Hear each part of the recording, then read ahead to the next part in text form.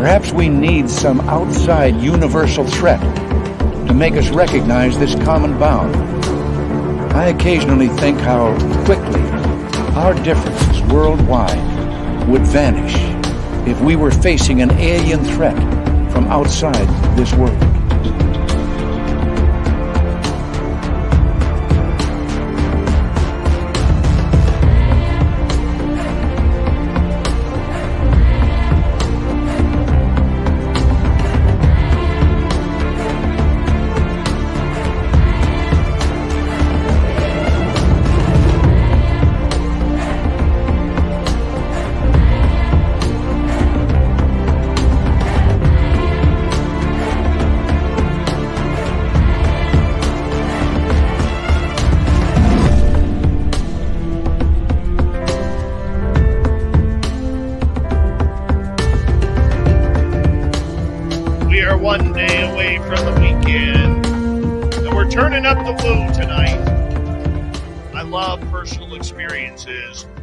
That's where the road we are going down. My name is Dave Scott, sitting in SOR headquarters tonight. Thank you for joining us. Grant Baker is our guest. You may have seen him in our chat room a number of times, and he's here to tell his incredible encounters with Sasquatch, UFOs, paranormal, and extraterrestrials. But first, let's bring in the roll call. We got Mike L in the gold medal position. Grant Tavius taking home the silver. Mennonite Abe with a nice bronze medal tonight. Cloudy with a chance of UFO UFOs. Good to see you, race fan. I owe you an apology. I was training Thin Lizzy on StreamYard tonight, and that's why we ended up setting it up early. So I apologize. Breaking your streak. That's my fault. My fault. Start a new one tomorrow, man. Hey, stunning cosmic floor, luscious jewels. Nice to see you. Jeffrey DeRuin, Todd Purden, Downshift, Acreon. How you guys doing, man? Thank you all for coming on in. And there is stunning Steph Dickey, John Swan, Mama Susan. The Gong Show is here. He'll be signing autographs after the show. Line up to the left of the studio if you don't mind. To the left of the studio. Ross Lambda, Grant Tavius. Good to have you guys here. Mr. Man Mister is here as well. He'll be signing autographs after the show. Line up to the right of the studio. To the right. Ross Lambda, Nightmare, Double Tim. Good to have you all here. Thank you for joining us. Smithy, thank you for kicking off the super chat tonight. The super chat is a wonderful way to support what we do on this show on a nightly basis. So thank you so much. Stunning Samantha Hazelwood Gray, Mr. Lurks a lot. How you doing? 5900 buck. Good to see you back. Ed Clater is here, everyone. The Ed Clater. Let's move on. Digger Dog, Roy the Boy. Good to see you guys here. Thanks for coming on in. There's our man Millennium. Doug Shelby is here. The Doug Shelby. Yes, aren't we impressed? I am. The gorgeous fidgety aura has returned. The Doug Shelby again. And again, the Doug Shelby. I, I just love saying it. It's fun. I know you're laughing. I can feel you, man. Richard Elmore, Kevin, TMI, Obi Flat, my man, Bigfoot, Michigan Rob. Great show with Tex. I got to have you guys on in March. So uh, talk to Tex and see when you guys are available. Let's line it up on the schedule, Rob, if you don't mind. And B, Connor from Bigfoot Anonymous. How you guys doing? Lovely Lauren looking gorgeous tonight. And uh, who else do we have here? Oh, well, let's see. We'll scroll on down. And uh, Steve Wolf, good to have you here. Oh, there's Carol Indy. Hello, Carol Indy. Fapster, what's going on? Phil Minervino from Ontario. We love you, man. How you doing? Parts unknown, weight unknown. The masked president is here. Scott Brown, ITF. How you doing, man? Good to see you back. It's been a while. Michael Fontaine. Boom. Gorgeous Bama. Hey, there's Uncle Dale and his power stash. If you're in Austin, Texas, and you see Uncle Dale, rub his power stash for good luck right through tax time. Sensational Sherry. Super Quest. How you doing, buddy? Give me one second here. We're going to start the radio sign. Excuse me. And who else do we have here? Oh, well, there's Simon Condon. How are you? Horror Realm. How you been doing, man? Gorgeous Kathy Evans. Nice to see you.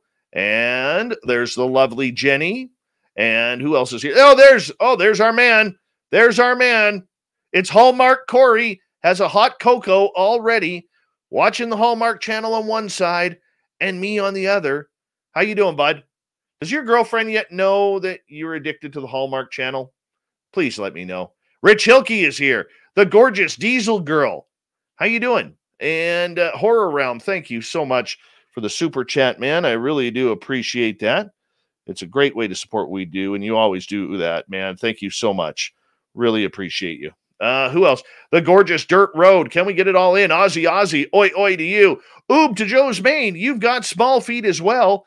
Taking my line, Jeff Steve Garvey. He'll hit a home run for you. Noble Patrick, good to have you here. Julio, how's it going, man? Penman, what's going on? Hey, Super Chat is open. If you haven't yet hit subscribe, give us a thumbs up, thumbs down, and most importantly, horns up. Time to rock.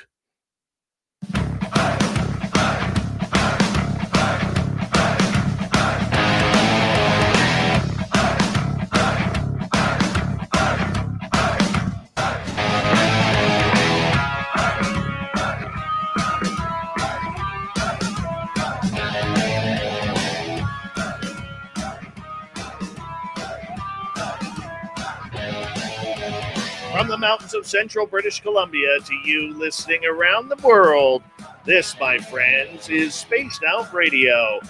I am your host, Dave Scott, sitting in the captain's chair of SOR headquarters we welcome you to tonight's show on our terrestrial affiliates around North America, digitally on TalkStream Live, Revolution Radio, and KPNL. All of our archives are free.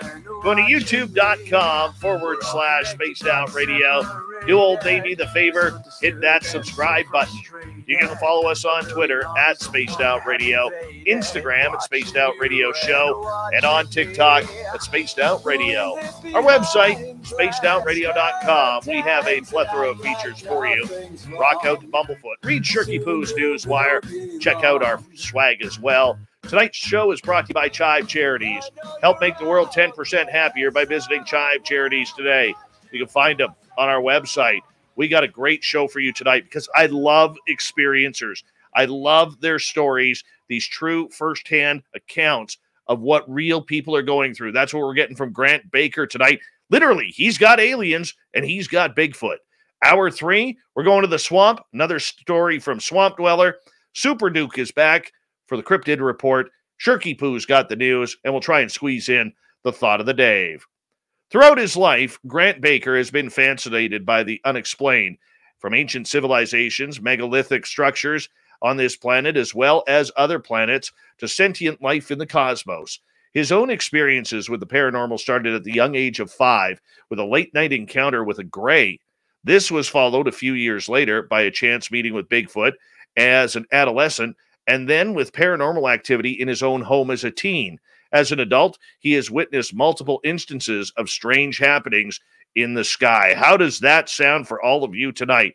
To me, it sounds like we got to roll that woo train.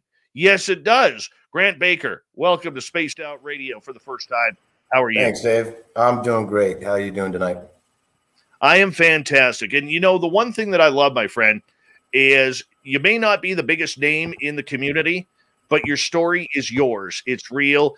And you're one of the people who has decided to get out there and tell your story, not for your own education, but to maybe help somebody else who's had the same experiences as you and you can maybe correlate with each other and and share the instances of what's gone, gone on in your lives man that's a big thing to do absolutely absolutely yeah it's it, you know it's one of those things where the more people we talk to these days everybody has their own experiences and uh, i'm i'm really happy that i can share mine and i would really love to hear other people's as well i mean i'm i'm so super into it you know i i I of course have a daytime job and during my nighttime when it's just me by myself or even with my family.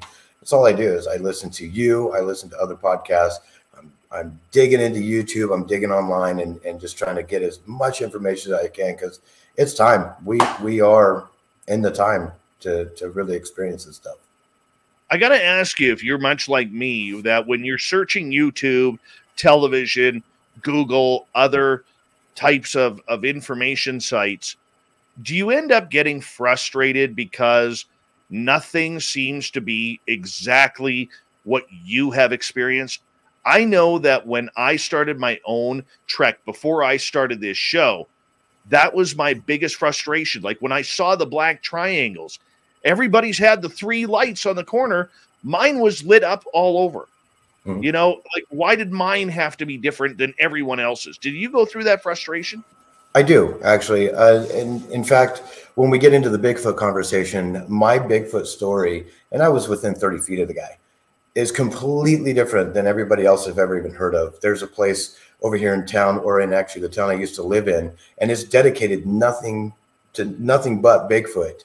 And every single story that I've ever read within that, and that's just that sighting, you know, sightings all over the the Northwest. They're all different. Everybody's a different when it comes to UFOs, whether they're meeting some type of intelligent being, whether it's ethereal or an actual physical being everybody's story is different. There's sometimes I'm coming across. In fact, what's funny is, is uh, there's been a few instances recently within the last couple of months where I was watching your show, and I get really excited when some of the experiencers that you've had on have experienced the same thing I had, and I was just like, there it is, and it's it's validation. And I think the more that everybody's talking to each other, and and the more stories that people are starting to share, I think it's starting to validate everybody else as well because all of us are just like you and me. We're having our own experiences. You see the triangle with lights. I've seen triangles without lights at all. And of course, you just stated it. There's people that see triangles with the three dots. So, yes. What's the biggest frustration for you being an experiencer? That's actually pretty easy. And I, am sure you've run across this as well. Uh, the biggest frustration is is telling your story. And what's really interesting is now these time of days, I mean, within the last five years, of course, 2017, um, it's been a lot easier to tell the story. The biggest frustration is you start saying something to somebody or somebody's seen a light in the sky and you guys start sharing stories and there might be a whole bunch of other people around you. Oh, that's whatever. You guys are crazy. And nobody wants to listen to it, eh, which is fine. You know, everybody has their own beliefs.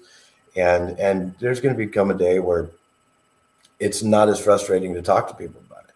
It's it's going to be more relevant. A lot more people are going to be more accepting of it. And when that day comes, and you know, my frustrations will be gone. And I think another thing is is uh, one of the bigger frustrations is it's in the news.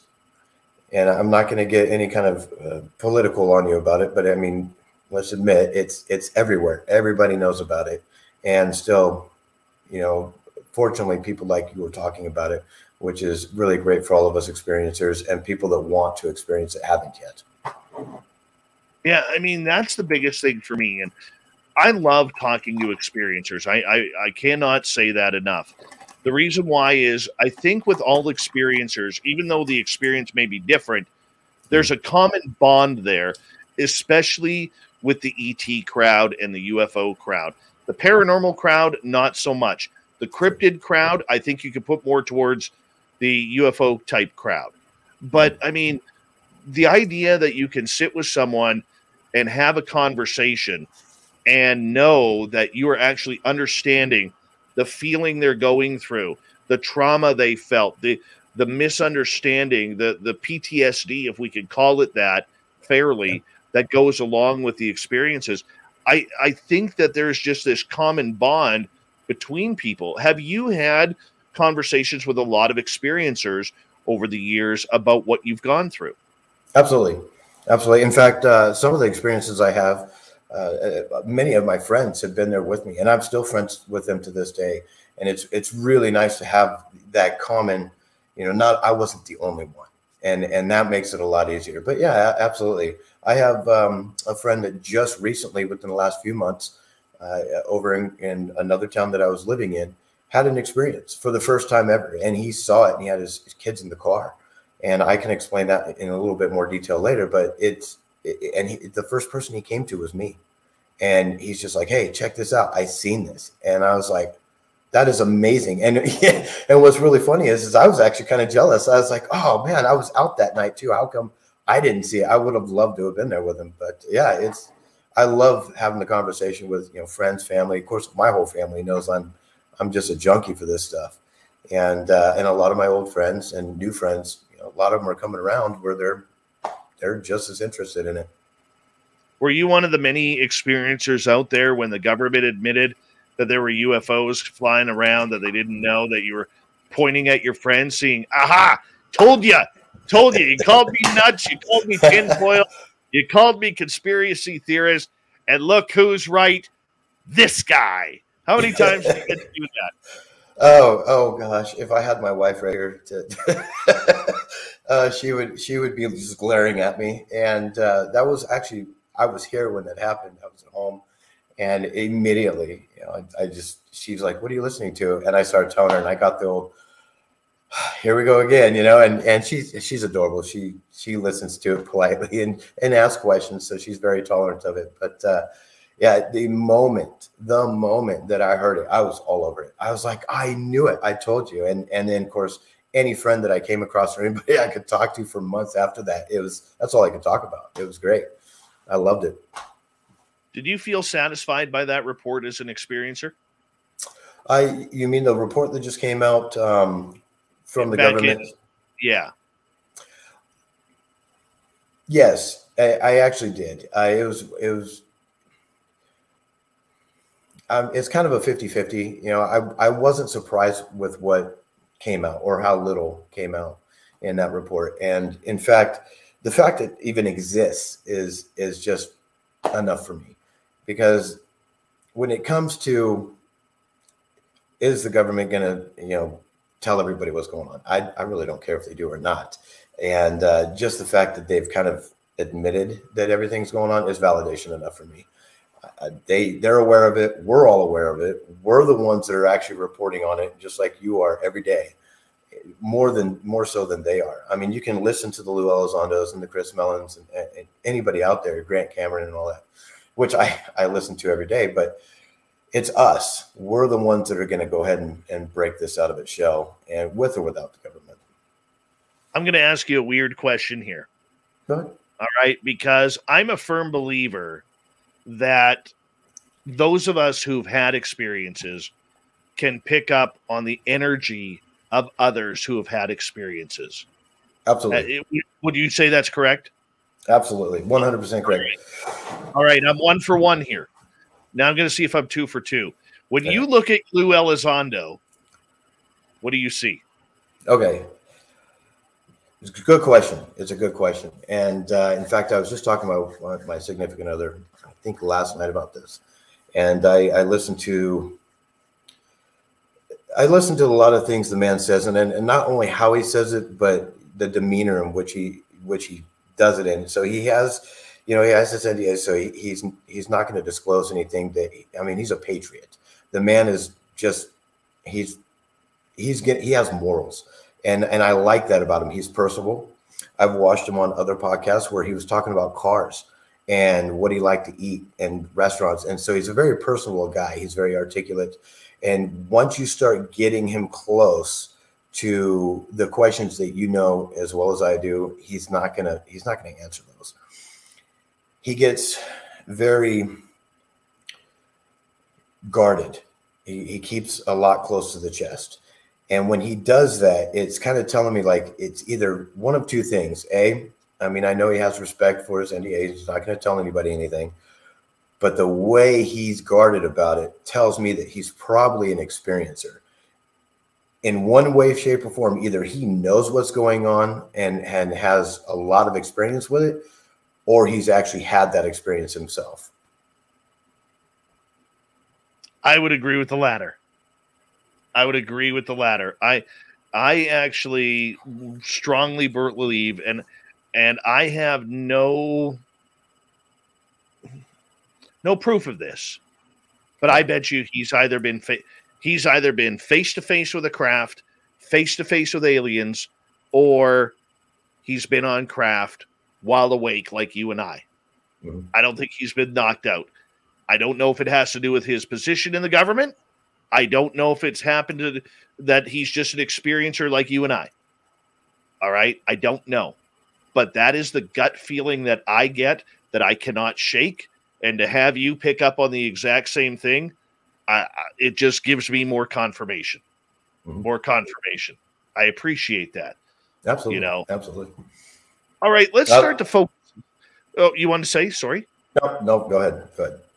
All right. Well, let's start the conversation changing towards more of you here because tonight, you know, it's it's about your story. I mean, five years old, you have mm. a hmm. gray encounter. You got to tell us a story. Yeah, that uh, that's actually an interesting time in my life, and you you got to understand. At five years old, I was born in '79, and I never knew what an alien was. I never knew what spaceships were. I didn't know what a gray was. I didn't even see one on a poster. None of that eh, when I was five years old ever crossed me. I was about the Bernstein Bears and Looney Tunes on TV. I mean, that's that's all my life was about. And and I have a, you know, I have a sibling. Uh, I have a younger sister, and every night, her and I, you know, we'd go through all our routine. And she's, you know, a couple years younger than I am, and but we had the we at that time, you know, we shared the same room, and everything was normal. Everything was absolutely normal. I didn't have any weird feelings. I just everything was normal. My grandmother, every night, she would come in and let us pick out books. Of course, we always took an exorbitant amount of time picking out our books because we didn't want to go to bed. And we'd always pick four or five of them out, so it took her longer to read. And every night, it was always the same. We'd be on my sister's bed, and we had about you know a three or four foot space between both both you know, beds my grandmother would lay in the middle, sister next to the window, me next to the aisle, and we would read books. And that's and that's what we did every night for as long as I can remember until I grew up and, and got out of that. And this night was not unlike any other night. And in fact, what's interesting is I remember, and the reason why I said Bernstein Bears, because that was actually the book that we had read. And it was one of those golden books that everybody has. In fact, I, I still got some of them on the shelf over here. And she read through the books and everything was okay. And I decided, you know, because sometimes we'd get a little scared of the dark. And I was going to go ahead and stay in my sister's bed with her. And so, okay, that's fine. My grandmother, you know, tucks us in, kisses us goodnight, and and go ahead and leaves the room and shuts the light off.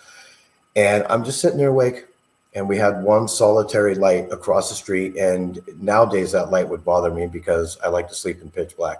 But that light would illuminate the window.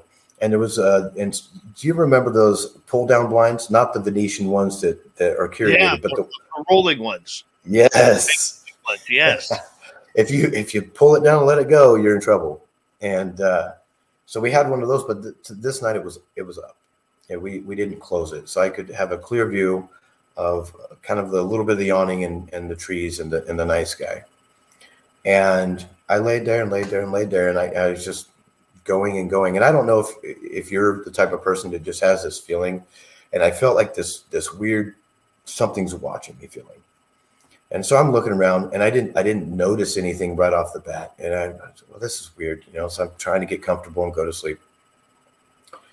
And something told me there's something here. There's there's something here, and I'm kind of getting that frantic feeling. I'm I'm five, and I don't understand exactly how to deal with this. And I I start looking over to the window, and that's when I start seeing it. And I saw the movement first, and this wasn't something that just appeared. This was slow. It was meticulous, and I watched pretty much in horror this thing slowly slowly move through this window and into my room. And by the time I'd actually started looking at the movement, I couldn't really tell if the window was open or closed. I, I, I just couldn't tell. And I watched the fingers, and it's, I mean, it's just like a sci fi movie. It's probably, you know, like aliens or something, like literally where they do the, the scene with the lights and the, the flickering and you see something just reach around a corner grab it real slow and the music and everything except for in this case it was dark the window was open. I'm watching this in complete silence and just mortified. I could not move. I was just watching this.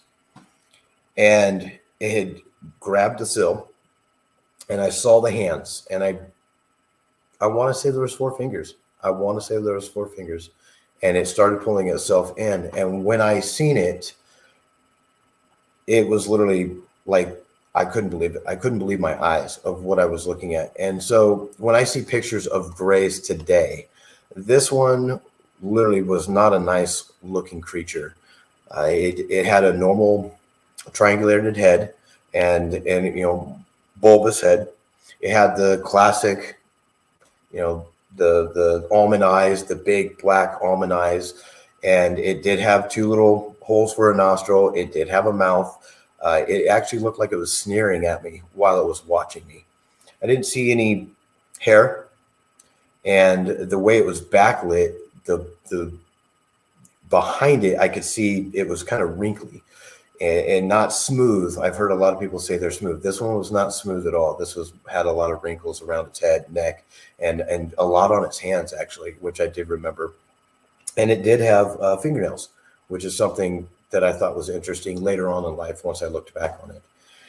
So it's staring at me, and all it was projecting, or how I was feeling, was this thing was not nice. It was not friendly. It was not there to help me out. It was not there to read me another Bernstein Bears book and it started moving. It came further into the room. I, by this time, I could see its neck, its shoulders, and that's as far down the body as I could see. I didn't see anything else past that. But its arms were strangely longer than I thought they should be. And it started reaching for me through the window. And it would stare at me. I mean, it was literally locking eye contact with me the whole time. And it just had this like a grumpy old man stare at me. It just did not relinquish its stare at me at all. And it finally reached all the way down to where it was almost touching me. And when that happened, I screamed. And when I screamed, it went dark. Everything went dark. It was like I had blinked.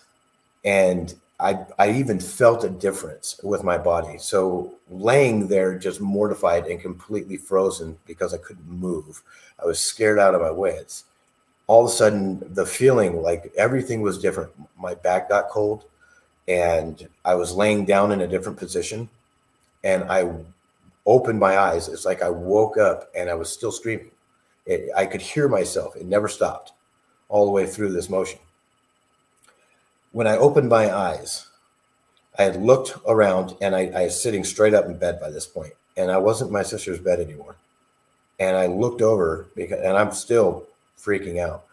The window was completely shut, which I know for a fact it was opened when I had closed my eyes, and the the drawdown shade was shut. It was completely dark. I couldn't see the light coming in from the street. My sister was asleep in her bed, and now I was in my own bed, six feet away. And obviously, screaming in the middle of the night is going to wake everybody up. And at five years old, I had a pretty good set of lungs on me my grandmother come bursting into the room trying to figure out what's going on like any normal parent would. And i was freaking. I was freaking out. And she calmed me down and said what happened? And i said i seen something. I seen something come through the window. And she's oh you're just having a bad dream. I've never had another dream to this day. I have a lot of vivid dreams and i'm sure everybody else has too but i have never had a, a dream as vivid and as memorable as that. And I am 42 years old now, and I can still remember the feeling of the sheets that were cold on my back because I hadn't been laying in that bed previous. And there's there's not a day that goes by that when people say, "Oh, have you ever seen one?" And for the years, I was like, "No, not really." And then everybody starts talking. We have all these people, all these experiences that are uh, coming out with their stories. And the more I listen to it, the more I listen to all the other podcasts that I listen to. I'm going to get you to hold on right there. We're going to go to commercial break here at the bottom of the hour. Wow. We're going to continue this story with Grant Baker. Was he taken? Did he miss time? If his bed was cold?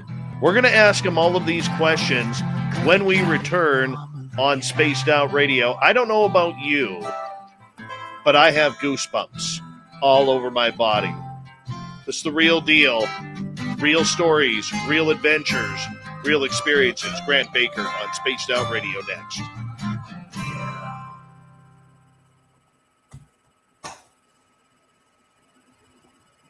All right, we're clear. I don't want to talk anything about this until we come back. You got it. Talk about it. anything else, but uh, but that holy shit. Holy Yeah. shit. Oh, dude. I now it makes sense for the yelling. Uh, shut up, Dave. Shut up. You weren't supposed Wait. to talk about it. Wow. yeah, what's You know what's what? really it, go ahead. It reminds me, I'm not going to mention this one on the air, but it reminds me about three years ago, I was dead asleep in my bed. My partner had fallen asleep on the couch, Mhm. and my little guy was in his room. And you know when you wake up and you just know they're there, Oh yeah. but you can't, but you can't see them. Mhm. We have this uh, this blue uh, nightlight, but it's not like a nightlight. It's like a like a neon board that plugs in, and then when something walks by it, it it changes. It goes lighter, Yes. and then when something when it when it dims down again, it'll dim da- down. And everything in my power, I was like, they're here, they're in the house. My dogs aren't moving, and I'm lying in my bed alone. And I and I was looking down the hallway, and I could swear that I could see movement down the hallway. And the man in me is like, "Get up! Your your partner's over there. Your son is over there." But the chicken shit in me was like, "You stay right here, buddy. You stay right here." Damn straight. Happens to me all the time. I did not move, man. I did not move, and it took me forever to fall back asleep. Excuse me. Yeah. Hi, Yeah, hi Jose. Uh, who else has jumped in here? Manuel, how you doing, buddy? Gnome Squatch, good to see you. Paul Vidal, nice to have you back. Sorry about that. Go ahead. Oh, you're good. Yeah, I was, I was just gonna say the um, have you you got a guitar in the background? I'm gonna tell a story about this here in a minute. So I'm just gonna. Have you ever had one mess with anything house that you could audibly hear? No. Uh, you just wait. I got, All I, right. got two, I got I got two of them. In fact, uh, I have a I have a good friend. I'll tell the whole story, but I got a good friend Yeah, that tell wanted to stay at my house. get with me. back. Yeah, it is fun. And uh, yeah, that one's a good one. probably the scariest thing in this house where my studio is that happened was in 2018 where i heard a spirit i was on the phone with one of my one of my sor people at that time and you know when kids scream you know they kind of do that laughing high pitched scream that toddlers do? So i'm downstairs walking out of my studio to go back into the hallway to make my way upstairs and i op- i'm about to open the door and i hear this scream laughter. And i said to the person on the phone i said did you hear that? And she goes yeah. Mhm. I said and she goes was that your boy and i said sounded like him didn't it and she goes yeah i said well there's a problem he's at daycare in town there's Oh. no one home but me yeah, that one got me. That one got me big time. Yeah, I- I'm not a big fan of the of the the audible when they when they start making No. noises. I'm, I've never been a fan of that one. No. Hi, Kevin. Manitoba Becky. They call her the Wheat Queen. How you doing? We'll even put you up there. There you go. There you go, Wheat Queen. Nice to see you back. You're always so busy for us these days. Chris Moe in Australia, JKGN. How you doing? And who else has joined us? Apollo 11, good to see you. Uh, Hallmark Corey will be starring in the latest Hallmark Sasquatch tale, Loving with Sasquatch, a fireside story, it's called, will appear on the Hallmark channel with Hallmark Corey from Wibs. Yep, I know how you do it. I do. Latro, how you doing, buddy? Uh, by the way, Hallmark Corey will be in Vegas for our Vegas party. Yes, he will. Greg.com, what's happening in Thailand, man? Hey, I want to say a big thank you to Smithy and Horror Realm for the great super chats. It's a wonderful way to support what we do on this show on a nightly basis. So thank you so much. Reminder UFO Con 2022 Dot com is the website. Lynn Wallington and I will be speaking at UFO Con in San Francisco, March 25th to 27th. Don't forget the Vegas trip, April 22nd to 24th at the Golden Nugget Casino in Las Vegas. We want you there. Here we go.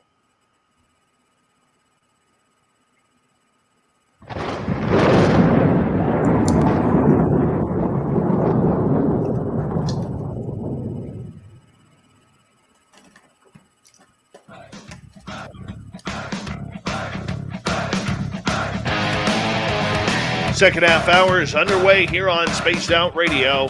Good to have you listening in. My name is Dave Scott. Appreciate you tuning us in wherever you are on this beautiful planet we call Earth. Now, I want to remind you that if you've missed portions of this show or others, you got our free archives at youtube.com forward slash spaced out radio. Do us the favor, hit that subscribe button. Our website is spacedoutradio.com. We have a plethora of features for you Rock out to Bumblefoot, read Shirky Poo's Newswire. Check out our swag as well. Follow us on Twitter at Spaced Out Radio, Instagram at Spaced Out Radio Show, and now on TikTok at Spaced Out Radio. Experiencer Grant Baker is here. And if you miss the first half hour, you're going to get goosebumps when you get to the bottom right before the break, where he starts talking about being five years old and watching an alien reach through the window and try and grab him. The interesting part about it is his scream he kept on hearing. It, for him, it was a split second. But when he got back in bed, his sheets were cold. Where'd you go, Grant? That'd be a question I'd like to know. Uh, for well over 35, well, about 32 years, I didn't think I went anywhere. I thought it was just a dream. One of the most vivid dreams I've ever had. And, uh, you know, from all the the new people in the podcasts that are coming out now and, and actually all of us being able to have long form conversation conversations like this i started realizing something i said you know that might not have been a dream. And i started listening to other experiencers stories and they're just they have missing time or something happens and all of a sudden everything's different from where they're at. Some people are in their car and they're all of a sudden home with me, I only moved six feet from one position to another, and I was actually in a different bed. I have no idea where I went.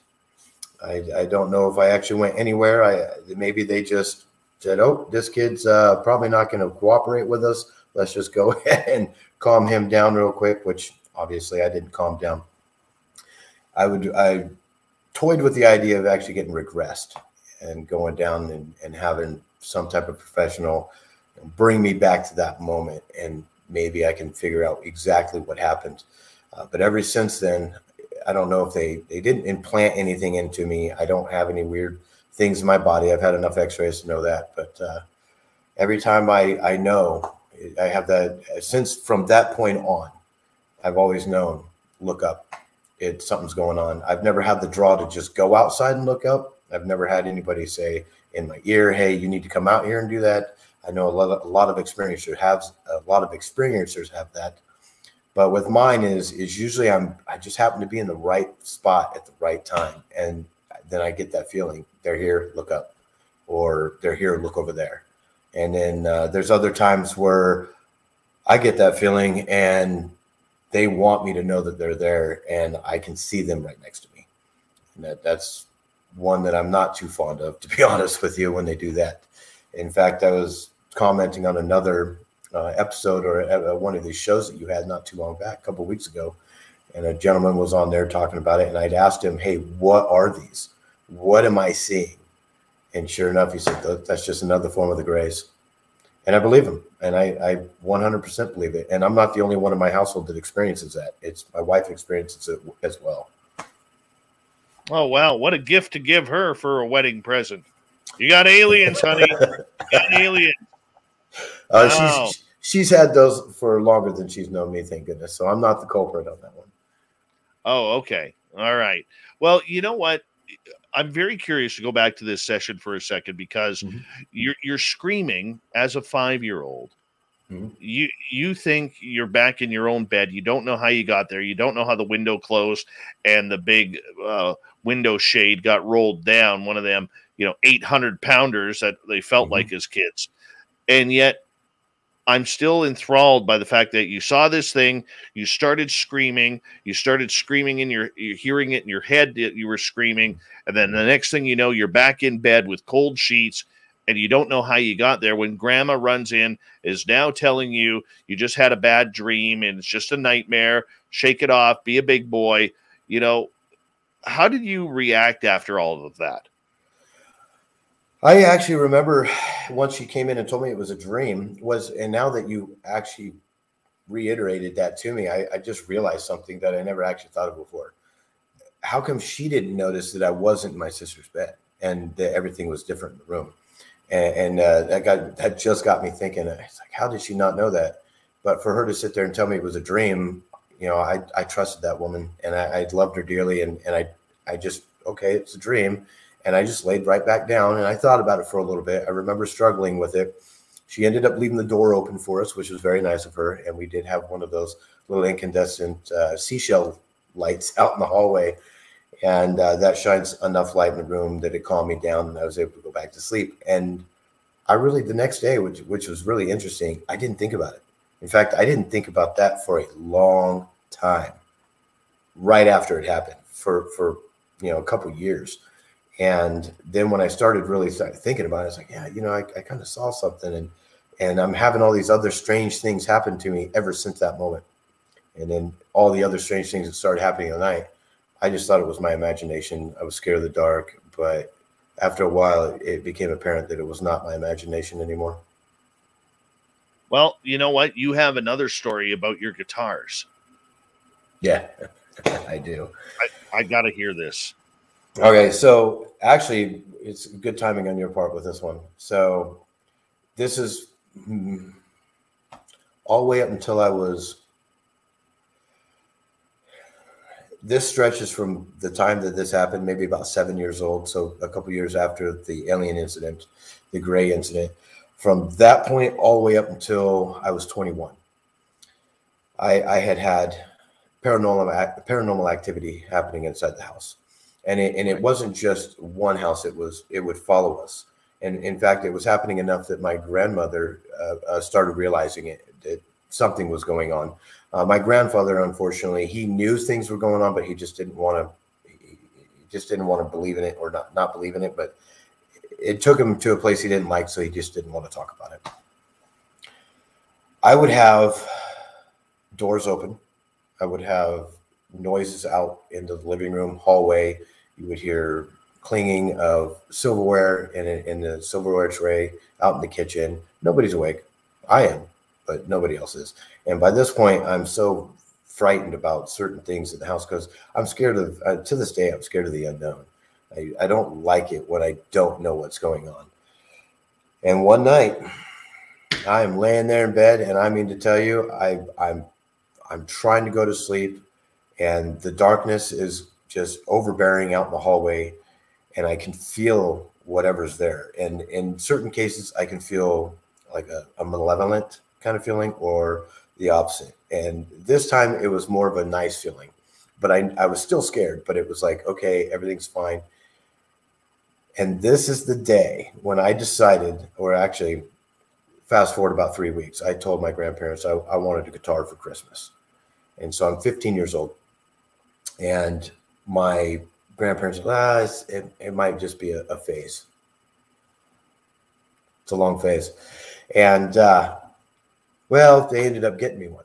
And I was horrible at it. All night long I played on that thing. And they were so sweet in getting it to me and they, they surprised me and everything. And I just, I just cleaned this thing top to bottom. It was absolutely beautiful. In fact, it was a Yamaha, kind of like this one right here and put it in its case and I wanted it just perfect. I put it in the in the closet and and started getting ready for bed. And nothing was weird was going on at that moment.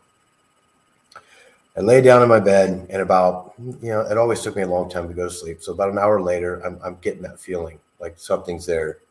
I don't know what it is. And I and it, what's odd was the things that I would see was the hallway to always go pitch black, which I have another story about that as well.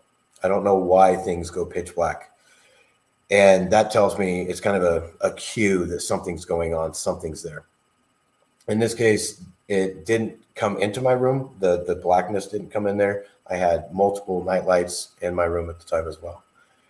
And I just closed my eyes. I'm like, okay, I, I, it's going to be fine. If they don't come in here, they're not going to bother you. And then I heard it. I don't know if you've ever had anything that actually gives you chills and to the point where you get the goosebumps so bad that your skin hurts.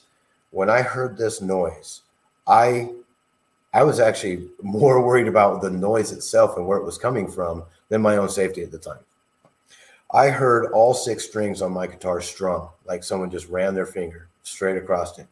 And because of the way the case is built, it wasn't one of those nice fuzzy inside. It was just one of those cheaper cardboard cases for a guitar, an acoustic guitar.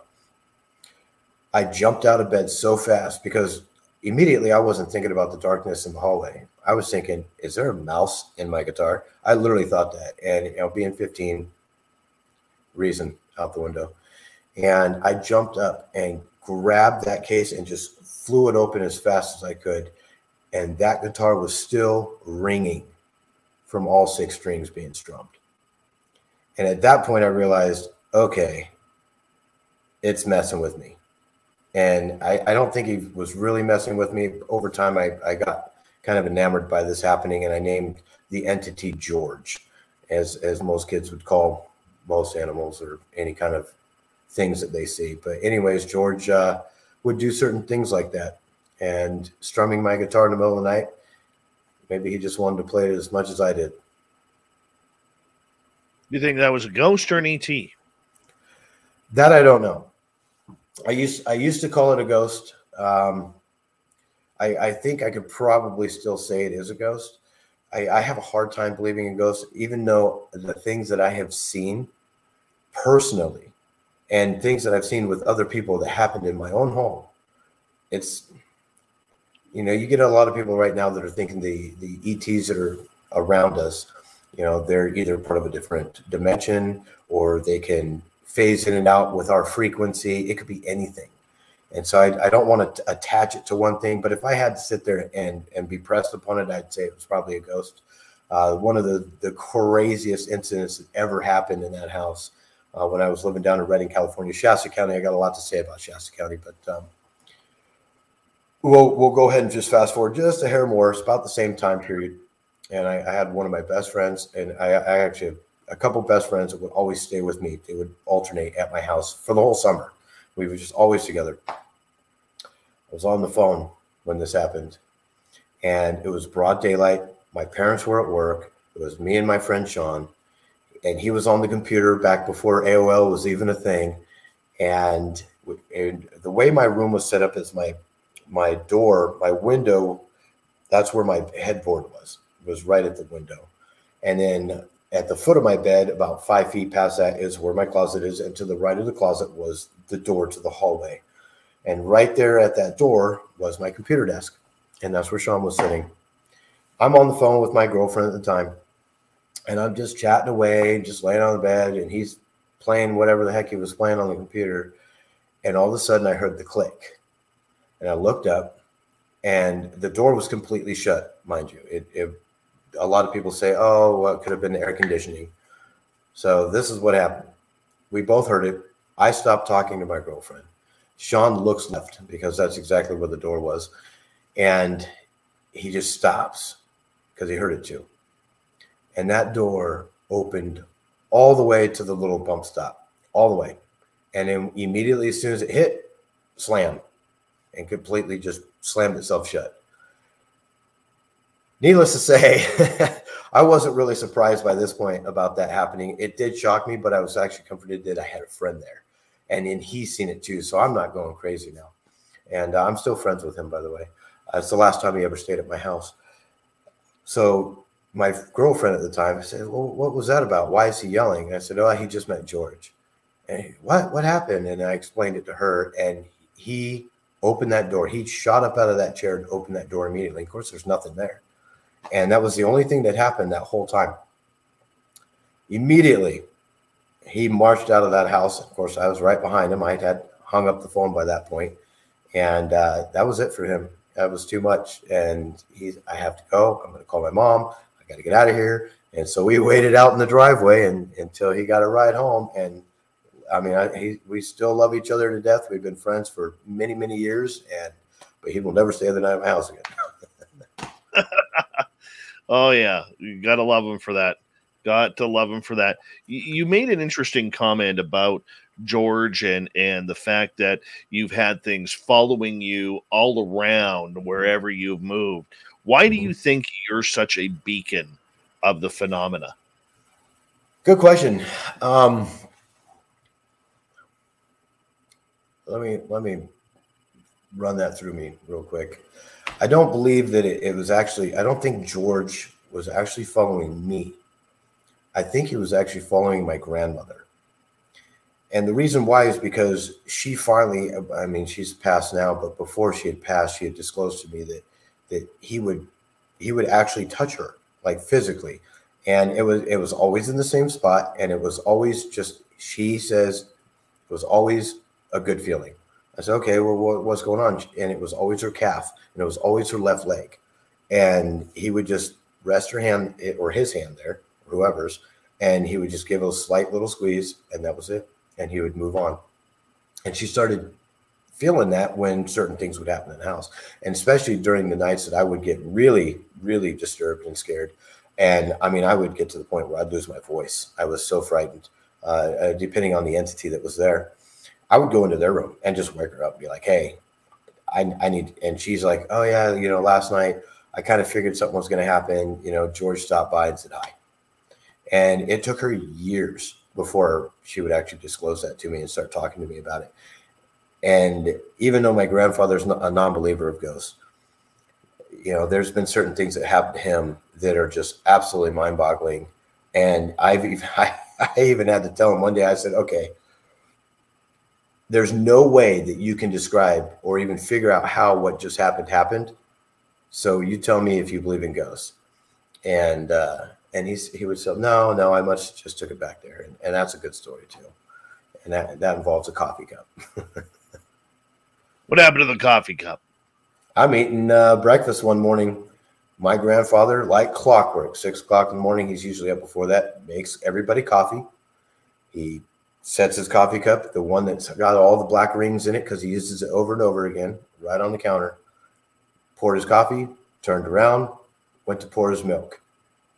I'm sitting less than five feet away from him at the bar. So we had a bar. He was on one side of the bar in the kitchen side. I was on the other side of the bar, sitting in on one of the stools, eating my cereal. And this is actually here in Southern Oregon when this happened. This is after he had gone from Shasta County down in Redding, California, and moved up to Oregon with us. And that's how I knew he moved with us. The coffee cup's gone. I didn't notice it. I had no idea. I didn't see it move, nothing. All I know is my grandfather sat there, was making coffee, and he turned around and he just he just stops. And he says, son, and I looked up. I said, yeah, dad. And he goes, what'd you do with my coffee cup? I, I didn't do anything to it. he goes, well, where, would you put it? Dad, I've been sitting here right here just eating my, my breakfast. I didn't I didn't move it. And so he puts the milk away and he looks in the fridge thinking he put it in the fridge. And he looks for his coffee cup in the cupboard. It's not there. I mean, he thinks he's losing his mind. Uh, you know, I mean, he's in his 80s now, but he was only 63 when this happened. And so he starts looking for it. And we both start looking for it because to me now, I'm like, okay, what just happened here? This is interesting. You'd never guess where he found it. And so it's a ranch style home. You know, you have a garage, kitchen, everything else is spread all the way across this, you know, 100 foot house. That coffee cup made it over 100 feet down a hallway into the master bedroom, into the master bathroom, sitting on the counter, still piping hot. And it was just poured. And when he found it, the it was actually quite interesting because I was I was still looking around in the kitchen for this, and I heard uh, I don't know if you've ever heard somebody call your name when they're they're pretty startled or scared and they get that shakiness to it. So when he called my name and I heard that, I immediately knew that he found his coffee cup. And I walked back all the way back in the back room, went in there, and there it sat. And I said, Do you believe me now? And he goes, I, I just don't remember bringing it in here. I said, You didn't, Dad.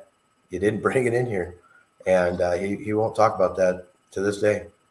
Wake up, Pop You got yep. some ghosties. You got a George in your house. Yeah, a George. No kidding. Grant Baker is with us. Incredible experience here. We got four minutes left before we got to go to break here. You know, with the extraterrestrials that that came around as a childhood, in your childhood rather, did it continue? Did oh, UFOs yes. start coming around? Oh, absolutely. I, I I can only I couldn't even count how many UFOs I've seen, and and a lot of them have really interesting stories, but they're they're always from afar. Uh, the ones that I see when when I just get that feeling, look up. Uh, I get a lot of those. In fact, I got a great video of one I should send to you. It actually looks like a plane until you realize I'm using an iPhone. I'm tracking this thing, and the star that is static right next to it is blinking at the same rate, so you know how far out this thing is. And uh, I also looked at uh, satellite radar, uh, the, also one of the plane things that you can see where all the planes are. So either it was one of two things. It was either UFO or three things: a satellite that is not on one of the satellite apps that you can see, so it's probably a military satellite, or a military plane that doesn't show up on one of the one of the flight apps that you can get. So it was moving, and it was so far away, and it was moving so fast. My bet's a UFO, and I've I've seen so many of them, especially down in Shasta County uh, down by Mount Shasta. The things that happen down there are wild. I've seen so many things, including the lenticular clouds. If anybody's wondering, look up the lenticular clouds of Mount Shasta in Northern California. And those things look just the clouds themselves like UFOs. They're wild. They're absolutely gorgeous, though. And I can see them, well, not from my house right now. There's a mountain between us or a hill. But if I just drive five minutes, I can see all of Mount Shasta and, and get good shots of those clouds. And some of the crazy stuff that happens over there. And it's all the time. I've never stopped seeing them. Why you? Good question. Why not? I mean, I don't think it's just me. I think it's everybody. I, I want to say, you know, I mean, you're you're doing this for a reason. Everybody that's listening to us right now is listening to us for a reason. Whether you've seen it, believe in it, you know, I don't understand why I'm dealing with certain things, but I think everybody's actually dealing with it in some way, shape, or form. They some just might not realize it, especially with the the beings that come in during the night. And uh, I've gotten used to them. Um, I don't like it when they do this, and when they try to hold you down, I really don't like that feeling. I've learned how to get out from under it. I've also just I don't know why me. I, I couldn't answer that, but I, I think that everybody's dealing with it. So it's not just a, a solitary random thing where like, oh, this guy gets it, this guy doesn't. I, I think everybody at one point or another has dealt with it, whether they know to recognize it or not. Is this a family tradition? Hmm. Well, with the ones that talk about it, yeah. a okay. lot of my well, family. That, that makes sense. Yeah, that that makes sense. We got about 45 seconds here. Okay. You know, for you, I mean, you mentioned earlier that your wife is an experiencer. Was she an mm-hmm. experiencer before you met? Yes. Yeah. And her experiences are are more of the, the uh, sleep paralysis, what people call sleep paralysis. And I've learned uh, actually fairly recently that that's actually not exactly what it is and uh, we can go into that later. But that when I was talking to you about the other podcast that you had done with that other gentleman, I found out those are grays because you can see them, and we've actually seen the same thing at, at different times. So it's. I hear you there. Yep. I hear you there, Grant. I'm going to get you to hold on right there as we are going to go to break here at the top of the hour. A life of experience. This is what it's like. You just live with it. I mean, if you look at Grant's calm demeanor, this is because he knows how to react now. It's everyday life, it's a part of life for those who have the experience. When we come back in hour two of Spaced Out Radio, this goes beyond aliens. We're going to get into some Sasquatch next on Spaced Out Radio. We'll take your questions in our chat rooms as well. Hour two with our guest, Grant Baker, next on the mighty SOR.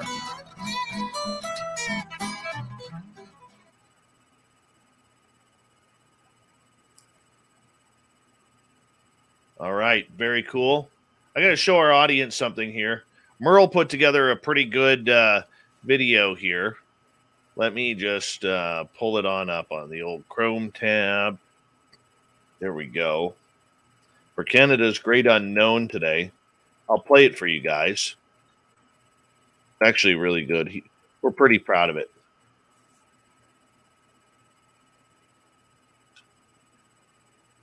Well, cool. We're up to 307. We were at 304 last time I checked. Okay. Here you go. This from, uh, oh, that's the, uh, yeah, here we go. Oh,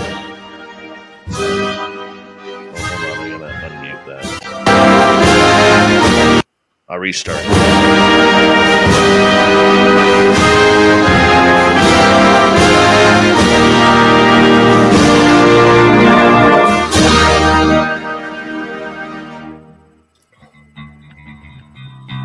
Canada, a bastion, a bastion of communities that, that built a nation into one of the most beautiful places in the world. Canada, Canada is a place where people from all, from all cultures have congregated to make, to make a beautiful, beautiful mixing pot of life. life. Canadians, Canadians, are more, than, just, hockey, hockey moose, moose donuts, donuts, and the and beavers, the beavers in, the ponds, ponds while, drinking, drinking beer, beer, saying, saying a, Canada, Canada is about dreaming that life can be better and believing we can make it better, not only for ourselves, but for everyone in the world. However, Canada also has its side of mysteries and legends that have remained hidden in the dark. Legends of Sasquatch of British Columbia, the Rougarou of Quebec, ghost ships of Newfoundland and Nova Scotia, to the ghosts of the battlefields in Ontario, UFOs lighting up the sky, and aliens walking among us. Welcome to Canada's Great Unknown, where Dave Scott of Spaced Out Radio and Merle from the Paranormal Road Trippers have combined to bring you some of Canada's creepiest stories. Stories from Canadians of all walks of life who've allegedly encountered things they just can't quite explain. It's these stories that we bring to you to tell another side of the Great White North that many do not want to talk about. The encounters are allegedly real, they are happening, and they are all around us. If you are Canadian or have visited Canada and had something strange happen to you, please tell us your story at Canada's Great Unknown at gmail.com. Follow us on Twitter at CGU Stories and Canada's Great Unknown on Instagram and TikTok we encourage you to hit that subscribe button and ring that bell so you know when new videos are popping up on our YouTube channel. Don't forget to leave a comment on our videos to let us know what you think. So sit back, relax, and enjoy the other side of what Canada has to offer. Welcome to Canada's Great Unknown.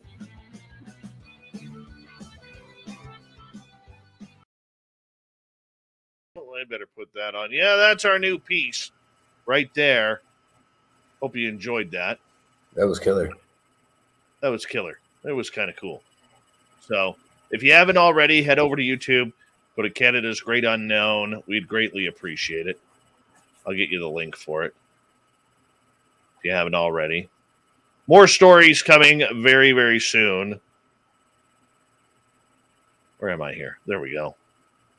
Yeah, Merle did all that up. He did it very nicely. I apologize about the echo.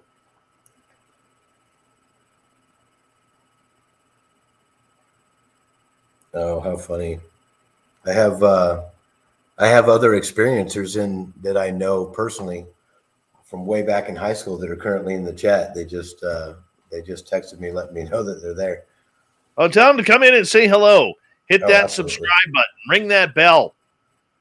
And in fact, uh, the gal that is texting me, I, I, mean, I've been friends with her since we were little kids, but uh, she has one heck of an experience um, in a place that is full of experiences down in, down in Shasta County. And really? uh, I don't. Oh man, she she had a good one. In fact, this is a place that I don't like going to. I've been there many, many, many times, but uh, and and stayed there many nights, and it's definitely something to it's an interesting road spot. Trip. Road trip. Let's yeah, in fact, uh, uh, um, World Bigfoot. I was gonna uh, text him and tell him the exact coordinates of where to go look. And it oh, it's said- public comment. Here we go. Yeah, there you are. There she is. Yeah. Thank you for the- man. Thank you for the super chat as well. And also thank you, Kira, Horror Realm, and Smithy. The super chat is a wonderful way to support what we do on this show on a nightly basis. Uh, you can't make that trip. Old Davey needs to come down there with you. I'm game for that. Derek Cook, what's happening? The SOR Mustang got a third place finish today. Right on. Right on. I love it. He built a race car, the NASCAR game with all our logos on it. It's the it's the coolest damn thing. By the way, Derek, I actually made that my screensaver at uh, my daytime job. It looks so badass. Thank you for that. We got 30 seconds here.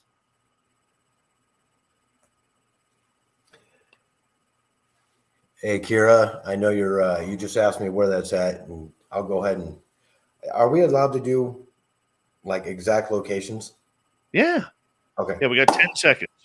All right. Well, I'll, once we get into the Bigfoot story, I'll tell you about it. All right. All right. Thumbs up, thumbs down, hit that subscribe button. Here we go with hour two.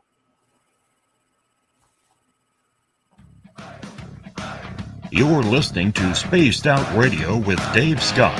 Follow Dave on Twitter at Spaced Out Radio and on Facebook, Spaced Out Radio Show. Hour number two of Spaced Out Radio is underway. My name is Dave Scott. Thank you so much for joining us. We really do appreciate earning your listening ears wherever you are on this beautiful planet we call Earth. Hello to everyone listening in on our terrestrial affiliates around North America, digitally on TalkStream Live, Revolution Radio, and KPNL. All of our archives are free. Go to youtube.com forward slash spaced out radio. Do old Davey the favor, hit that subscribe button. The Desert Clam has set the password for tonight in the SOR Space Travelers Club. Quagma. Quagma is your password. Use it wisely, space travelers, as a clam sets the password each and every night right here on Spaced Out Radio. Our website is spacedoutradio.com. We have a plethora of features for you. Rock out to Bumblefoot, read Shirky Poo's Newswire, check out our swag as well. Follow us on Twitter at Spaced Out Radio, Instagram at Spaced Out Radio Show, and now on TikTok at Spaced Out Radio. We continue on tonight with Grant Baker. He is a lifelong experiencer wanting to know what is happening with him. And from UFOs and aliens and paranormal, we're going to go into the forest with Sasquatch now. Grant, welcome back. Uh, thank you so much. Good to be back. Oh, what do you got for me with Sasquatch? I got a good one for you. What do I got? Well, let's just hear your story, and then uh, you know we'll we'll rate it out of ten. We don't mind. All right. All right. So, Shasta County, and if anybody's ever listening, Shasta County is a place of interesting things. In fact, I have a couple uh, ideas about why it's so interesting. It's because of the iron in the dirt. UFOs, for some reason, like a couple things iron, water, obviously, and the skies. When it comes to Sasquatch, though, that is something that is actually a global phenomenon. Not a lot of people, everybody thinks it's the Northwest. Uh, there's a lot of places dedicated to it here in Oregon. And uh, they always think, oh, it's just happening in Oregon. And that is, it's semi true. I haven't seen anything here. My wife's dad has, but let's, uh, let's rewind back to Redding, California. There's a place called Buckeye. It's Buckeye School District that's down there. And I used to go to that school. In fact, I lived just south of it. And where I lived at that time, now there's housing development everywhere, but there's still a canyon, not really a canyon. I guess you would call it like a gulch of some sort. And uh, this ravine, gulch, canyon is big enough to be called a canyon, actually stretched from behind my house all the way down to Shasta Lake. And a, a lot of crazy things happen at Shasta Lake as well. So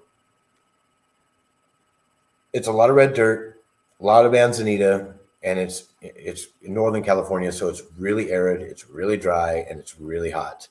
And one day I'm literally playing in the red dirt, like all good children wearing white clothes that loves their mom does. And uh, I was out there playing GI Joes, and I'm right between 10 or 11, uh, uh 11 years old. I want to say right before I turned 11 years old. And I'm just playing around. I have a Red Ryder BB gun to my right. And it's about, oh, I don't know, a 15 to 20 foot oval of clear area right behind our house uh, where the, the manzanita had been cut away. And there's no grass to speak of. So I'm just digging holes in this clay like dirt. And I had that, that feeling that I always get. You know, I don't have anything telling me to look or or anything, and I but I just had a feeling look in this direction. And I'm crouched down on my tippy toes, got my little GI Joes in my hand, and I look left. I just follow the the feeling, and I just look left. And I didn't know what I was looking at at first. I mean, the manzanita trees are probably about seven, eight feet tall. And uh, when I realized what I was looking at, I was looking at legs.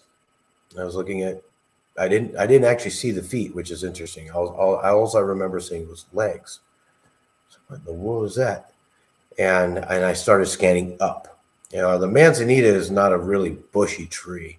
Uh, it's really neat for kids to play with with the bark, but um, you can still see through it. And I followed this this form all the way up and met eyes with this creature. I don't know. Um, it's. I think I would be more scared meeting like a, a, a skunk on the side of the road and and meeting, you know, making eye contact with that. For some reason, I really wasn't scared that I was looking at this thing, but it made eye contact with me. And I want to tell you something about this. So a lot of people as, as far as I know, and, and, with everything that I've read, now there could be a whole lot of different stories out there. In fact, you just had a podcast on it where they explained Bigfoot in various shapes, sizes, and all over the world. When I made eye contact with this, it was intelligent. I, I recognized that right off the bat, and it, and I, I wasn't scared. I, I did realize a couple different things about it. It was not moving. It literally was locked in place. It was staring right at me. It was tall because it was looking at me over the manzanita bush. I could see its face clearly. Uh, there's a couple things by that time at 11 years old, 10, 11 years old, I had known what Sasquatch was. I thought it looked like the abominable snowman, except black or brown. This was neither. This being, creature, whatever you want to call it, was not fat. I've watched the the uh, uh, the the one Bigfoot footage that everybody sees of the female Bigfoot walking from left camera, right camera, and if you actually have the destabilized or the stabilization of that photo, you can see that it is a woman or a female being, and it turns and looks back. I've watched that over and over and over again. I've actually looked at a whole lot of other different Sasquatch photos, pictures, everything I could, and I've never seen anything in any of those that match what I've seen. So this is roughly, I mean, I was small back then, so being 40 now or 42 now, if I was looking at the same thing, I might give you a little bit different description of it. It was tall, minimum of eight feet, period. And it was not black, it was not brown, it was gray, kind of like, I mean, like a like I just don't, I don't know how to explain it. It was like gray hair, you know. It was just gray and it it was very intelligent, forward facing eyes, and the face did not match any other other of the Sasquatches or the, the Bigfoots that I've ever seen before. It was more our profile, maybe a, a little more angular, a lot longer head, and I didn't see any ears. The eyes were dark, and it was perfectly still, and it was yoked and when I say yoked, I mean that's I, I kind of use that jokingly, but it, it was literally in the best fit I've ever seen anybody in my life. This thing was not like massive like Arnold Schwarzenegger. It was fit. You could see muscle definition. You could see, it had perfect Popeye type arms, and and you could see its nice rounded shoulders under the fur. I mean, this thing was this thing was fit and I was just like, oh my goodness, what is that? I, obviously, I knew what it was. I was just like, oh man. So this little Red Ryder BB gun that I had sitting right next to me, it was it was completely empty. There was nothing in it, and I didn't know what to do. We literally locked eyes for about 10 seconds, uh, realistically, about 10 seconds. And it seemed like forever. And I reached down and I started to pick up this pellet gun. And that's when it did something. And instead of moving away from me, like you would think, it actually moved perpendicular. And it kind of went at about a 40, 45 degree angle right in front of me through the manzanita. Obviously, there was, you know, they're not real close together back there. And so it was weaving its way from left, my left to my right at a 45 away from me. And there's a couple things I noticed as I pumped this little Red Ryder BB gun and just shot nothing but air at this thing was its speed. It was insanely agile and it was fast. It moved very quickly. It moved silently. And it was, all I mean, looking back on it, it was beautiful. I mean, this thing was awesome. It moved so fast that you would think something would be crashing through the trees and, you know, making the, the footprints on the ground. Right. Not, nothing. You didn't hear a thing. I mean, I, I kind of heard it, but barely. And that's not from adrenaline. And I mean, I was just like, even as a child, I was like, that was weird. How did it move? Immediately, immediately, I got up and I ran to my house, which was about 80 feet behind me. And I went and told my mom. And I, I told my mom, I said, Mom, I just seen Bigfoot. No, no, you didn't. No, you didn't. No, you didn't. I, I was adamant about it. Um, I'm going to tell you about two weeks ago, I, I talked to my my stepfather. Um, my obviously I told you my mom's passed, but my, my stepdad is still alive, and I, I asked him a few questions about that area. And he says, "Well, I'll tell you what. There's a lot of things in that canyon, and that canyon goes all the way to the lake." And he goes, "I believe you, and I heard things out there. Never seen anything." And I said, "Well, I told mom about it, and she didn't believe me." He goes, "It's not that she didn't. It's just she was trying not to make a big deal about it, and she didn't want to talk about it." I said, "Oh." And I wish she had, but hey. Well, you know, at times parents try to protect their young mm-hmm. ones, right? I mean, oh, yeah. she doesn't want you to have the nightmares or or a worst case scenario going out there and chasing after it when it could do something very harmful. You didn't know. I mean, was it watching you to stalk you? Was it watching you to take mm-hmm. you? Was it watching you out of mild curiosity? I mean, you'll you'll never know. I got a feeling, and and, and I, I want to run this by you a little bit. I have a feeling what happened was because our house at that time was kind of one of three houses that were just kind of built off this little dirt road. Now it's fully paved. I think what had happened based on the, the direction after I looked at exactly where he came from, um, I asked my, my stepfather exactly what the address was, what the street was, and I, I looked it up recently in order to prepare for being here because I wanted to know more myself about it as well. And I looked at it and I think he accidentally happened upon me and really didn't really know what to do and just kind of, you know, like it's kind of like us if we come across a bobcat, don't move. Might, it right. might go away. I think that's what happened. And once I moved, then he was like, uh oh, and he was gone. Right. He didn't show any hostility towards me at all. Randy wants to know how do you think they move so silently? Hmm. So that's a good question, Randy. There's a couple things I've actually, you're going to laugh at me. I actually practiced this for a little bit. Um, instead of running heel toe like most people do, uh, there's a there's actually a way to move your your body where you can walk around your house. A lot of parents do this. You go toe heel first, and the way this thing moved as big as it was, it I could still hear it, but I think what had happened was it was more a, a very eloquent. I mean, this thing was graceful. Like you would think all the noises people were hearing in the woods and everything else is, and the, the clattering and the gifting and everything you hear about these things these things are actually pretty graceful uh, they can move silently and honestly i've heard stories about people saying oh yeah you know they're just part of a different dimension i've heard other people say they're grays I, or other ETs that have come over and and they're not really real. The thing that I saw made shadows. I heard it. I seen it. It was physical and it ran for me. That's enough for my eyes. And I don't know how he moved quite as silently as he did, but I mean, his ninja skills were 100. Unbelievable. Manuel wants to know what your scariest experience is. Oh, Dave. Hey, Dave, tell you what is the scariest experience? Okay.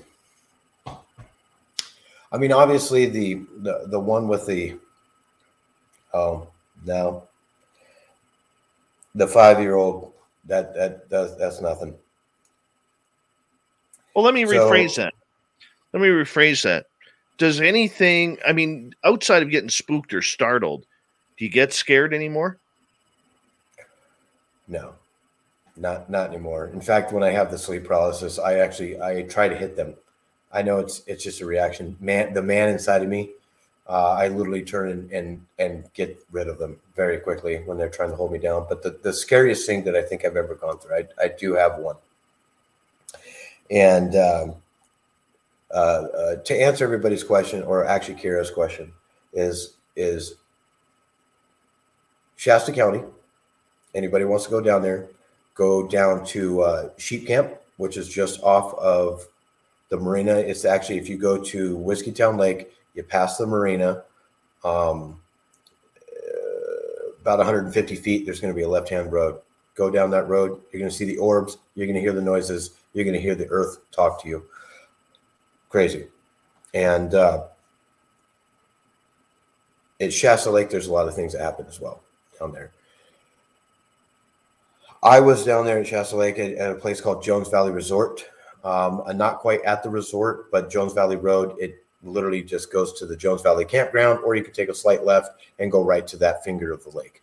Uh, there's 365 miles of shoreline on Shasta Lake. I just happened to be on one little portion of it. And I was with a friend's mother, actually, who was having a pretty bad day. And we were just sitting there having a beer, and she was talking about her woes and and just didn't understand. Of course, I just happened to be there for her, which is great. And while she was talking, I was looking up at the sky, and I noticed this over bright star doing figure eights, and and I mean like vertical and horizontal. So we would do horizontal, and then it would just change into vertical, and it would stop randomly. And I watched it. I mean, I, I probably had a beer and a half by the time I looked at this. I'm like, I can still drive. I'm not drunk. I just ate dinner. So I mean, I, uh, what's what is this? So finally, I ended up interrupting uh, the gal that I was with. I said, "Hey, uh, uh, can you look up there and tell me exactly what you see?" I didn't point. I just said, "Look in the sky and tell me what you see," because I've always been scared that I'm the only one seeing it. That that star is moving. What is it doing? It's doing figure eights up and down or left or right, up and down. Okay. Oh, it stopped. Oh, okay. We watched it for a few minutes. Anyway, I after a while of watching this, uh, it's maybe three minutes, two, three minutes. It seems like forever, but every time that one in the sky would stop, one to our right would start, and I just caught it out of my peripherals, and I I was like, oh, there's another one over there, and every and they would just switch, like a light switch. This one would do it, that one do it, this one do it. And I was like, oh my goodness. And so I told her about it. I said, hey, let's go up there because there's fire roads that go up there.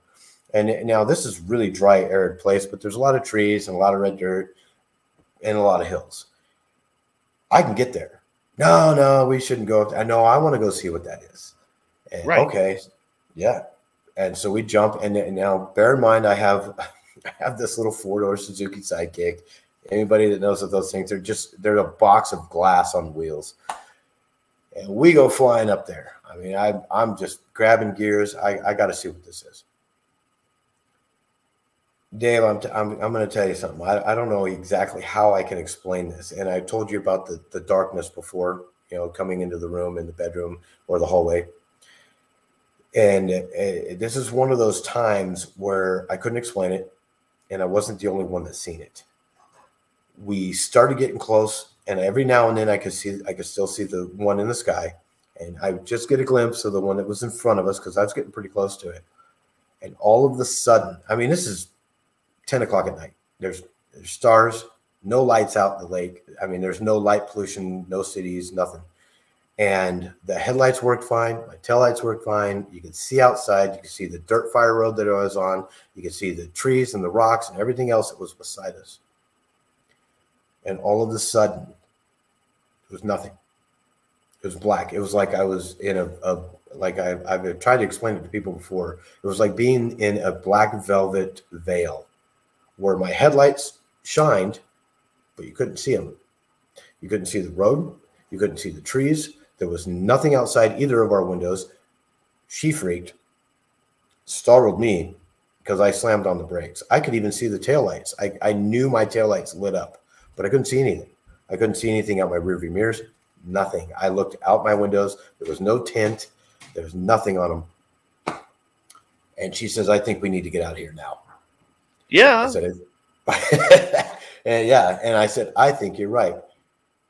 I'm and I'm I. This is the weirdest thing. So when I backed up, I'm only on a fire road. The the car's not that big, but still, you know, I have a drop off that I got to be careful with. I got a little, you know, little gutter of water that runs down this fire road on the other side. So I, I want to back up just so.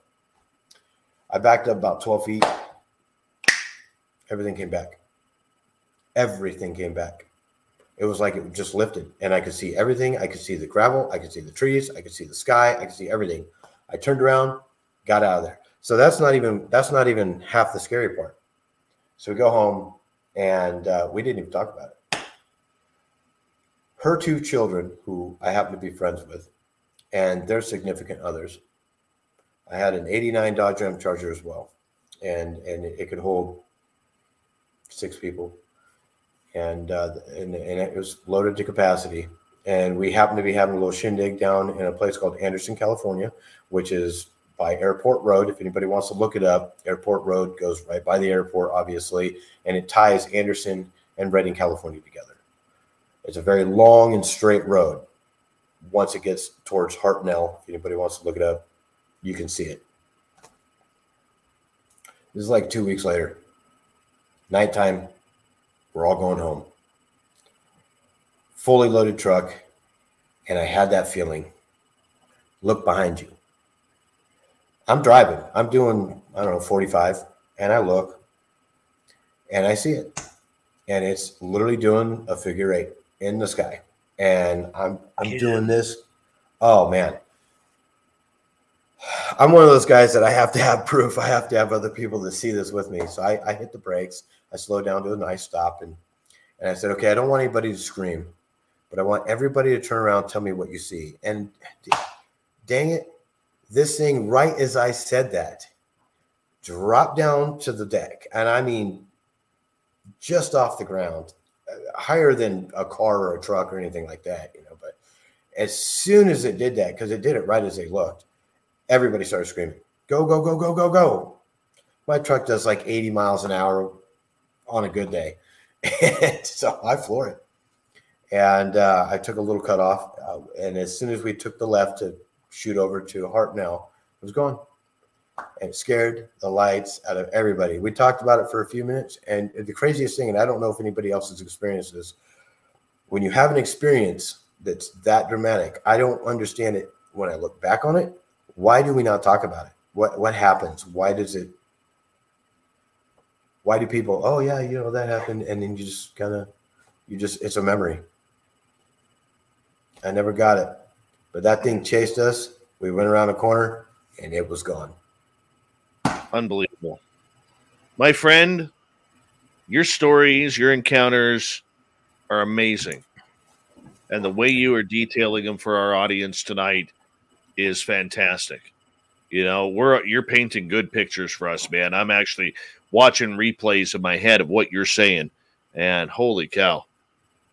The bad thing is i got i got a ton more. I know we're running out of time but i got i can tell you all kinds of them i mean they're just and and the crazy thing is, is is where they're all located. So if anybody's interested to see all these get a hold of me through facebook and i, I will literally pinpoint locations for you and send them to you. Uh, half of them you're on your own. Grant, I'm to get you to wait right there. Grant Baker, we got him till the top of the hour.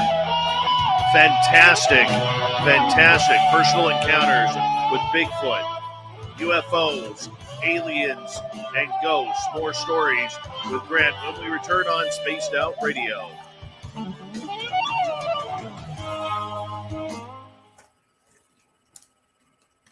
Hi, gorgeous Michelle C. in Australia. Solaire, thanks for joining us. Sovereign Farts, good to have you ripping them back. Yeah. And who else? All right, I'm gonna just gonna step away for a couple seconds, go to the bathroom. I'll be right back, dude. All right. Okay, I gotta I gotta get down to all your guys. Let's see. While he's doing that, let me see if I can go to exit full screen and anybody have any questions?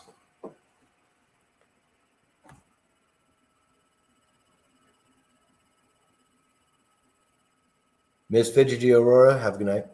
Good night. Good night.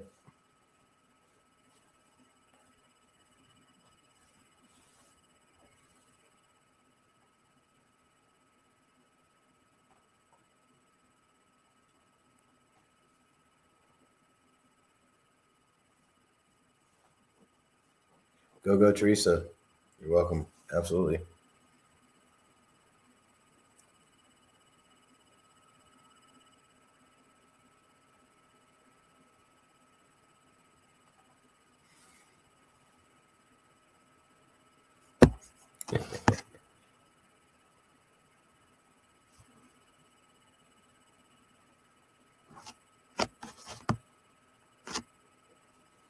Do I think there's a higher meaning behind all these sightings? I don't know. Um, it's one of those deals where I think everybody in, in the world is, we're just closed off. Uh, there's so much in the universe that we don't know about. So much. I think the higher meaning is just the meaning of life. And it's, it's whether you want to think of it as experiencing it or getting to know other people that's out there in the universe. I mean, obviously, there's so many entities that are going to be out there. It, it's mathematically impossible that we're the only ones. So, as for it being, as for being a um, higher meaning, I, I don't know. I, I just none of us are capable of understanding it. And until someone tells us what it is, that's the only time we're going to understand it. We can theorize all we want but until they actually make themselves known. And at that point, maybe we can understand it.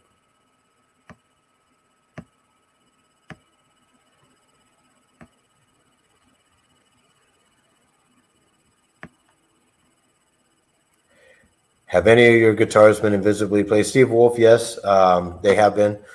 And uh, in fact, I told the story about that a, a, little bit earlier, but it was strummed inside of his case uh, at one point. Um, these ones here I haven't heard go off, and I don't know what happened to George, but maybe someday.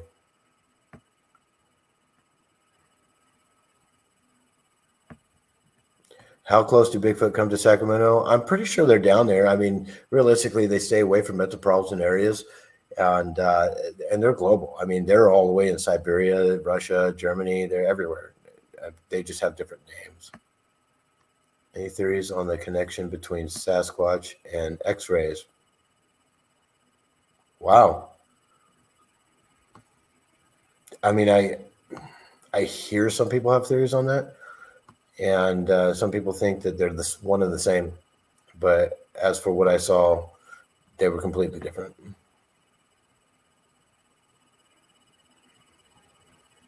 What's happening underground? Solaire. Uh, real quick before I get to that, um, race fan. Um, I think Bigfoot's a real entity.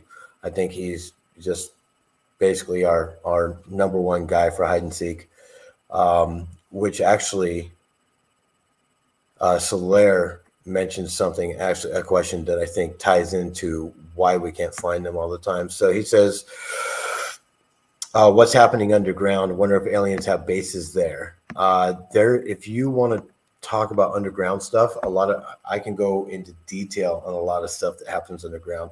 Um, not that I've seen it, but theorizing everything, uh, especially with Admiral Byrd talking about Antarctica, uh, Mount Shasta, which is somewhere where I live right, really close to.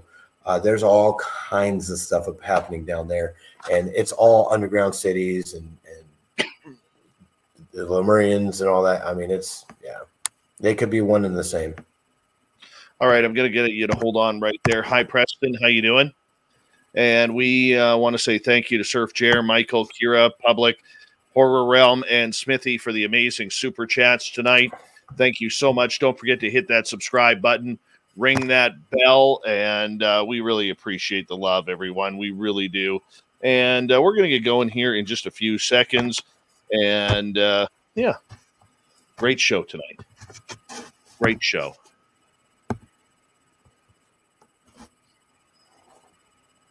We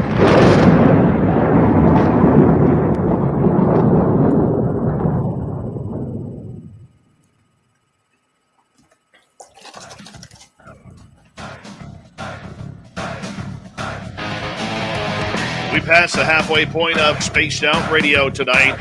My name is Dave Scott. Thank you so much for taking the time to join us. We really do appreciate it. Want to remind you that if you miss portions of this show or others, check out our free archives by going to youtube.com forward slash spaced out radio. Do old Davey the favor, hit that subscribe button. Our website is spacedoutradio.com. We have a plethora of features for you. Rock out to Bumblefoot, read Shirky Poo's Newswire, Check out our swag as well. Follow us on Twitter at Spaced Out Radio, Instagram at Spaced Out Radio Show, and now on TikTok at Spaced Out Radio. We continue on tonight with Grant Baker, lifelong experiencer. He's been investigating what is going on with him. It's not just him, it's growing up with his family and now with his current family as well. Grant, welcome back. Ah, nice to be back. Thank you so much, Dave. We got some questions from our audience here for you. yeah. Start off with Manuel. Have you ever heard of March Air Force Base and Lockheed Martin UFO abductions and encounters? You know, I, I, actually just read that one before we went back on on the air, and you know, I I have not heard that one yet. Um, Manuel, I'm going to tell you right now that is something I'm definitely look into. Uh, the reason why is because all this stuff interests me. I I want to, especially because now you have an Air Force base.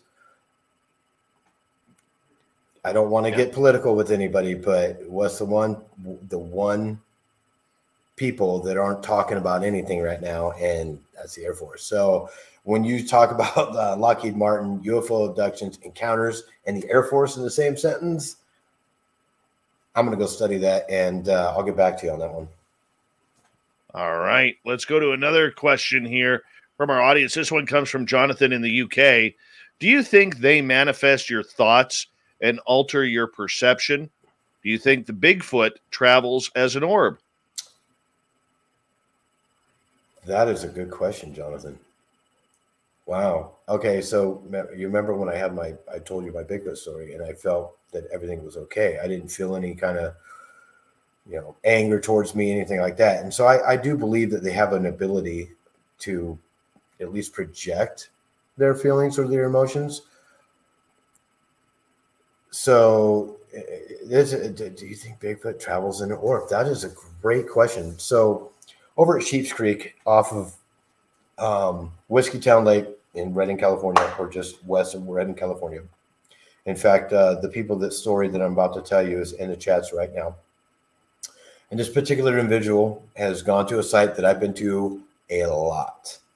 Now, this site is very special very, very special because it'll scare the living heck out of you, but it's absolutely gorgeous. There's waterfalls and, and a natural stream. But if you stay the night, you're going to hear the earth making its crazy noise. Now, when I say crazy noise, this is the earth in the middle of the night, and everybody hears it. I don't care who you are. I can take you there myself right now.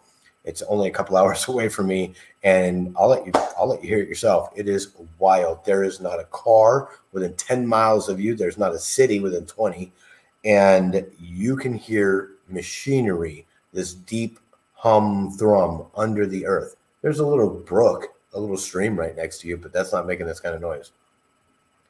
So the people that I'm talking about right now had gone down there. We all have experienced this. And she, you know, like everybody else, heard the noise. And then the orbs showed up which are orange and flickering, kind of like you know when you see a star and it flickers, but it can change colors really quickly. That's what she was seeing. And and then when I say seeing an orb, I mean she was literally within 20 feet of the thing. It was right in front of her face. It was wild.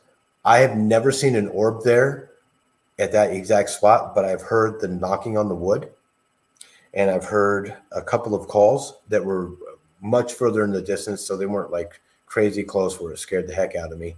But I've I've heard some calls out there before, and so it only makes sense to me that orbs and Bigfoot actually might coexist in some way, shape, or form, whether they're both ethereal or they're both however they mix. I don't know. But that is a good question. I'm, I like where you're going with that. Thank you, Jonathan.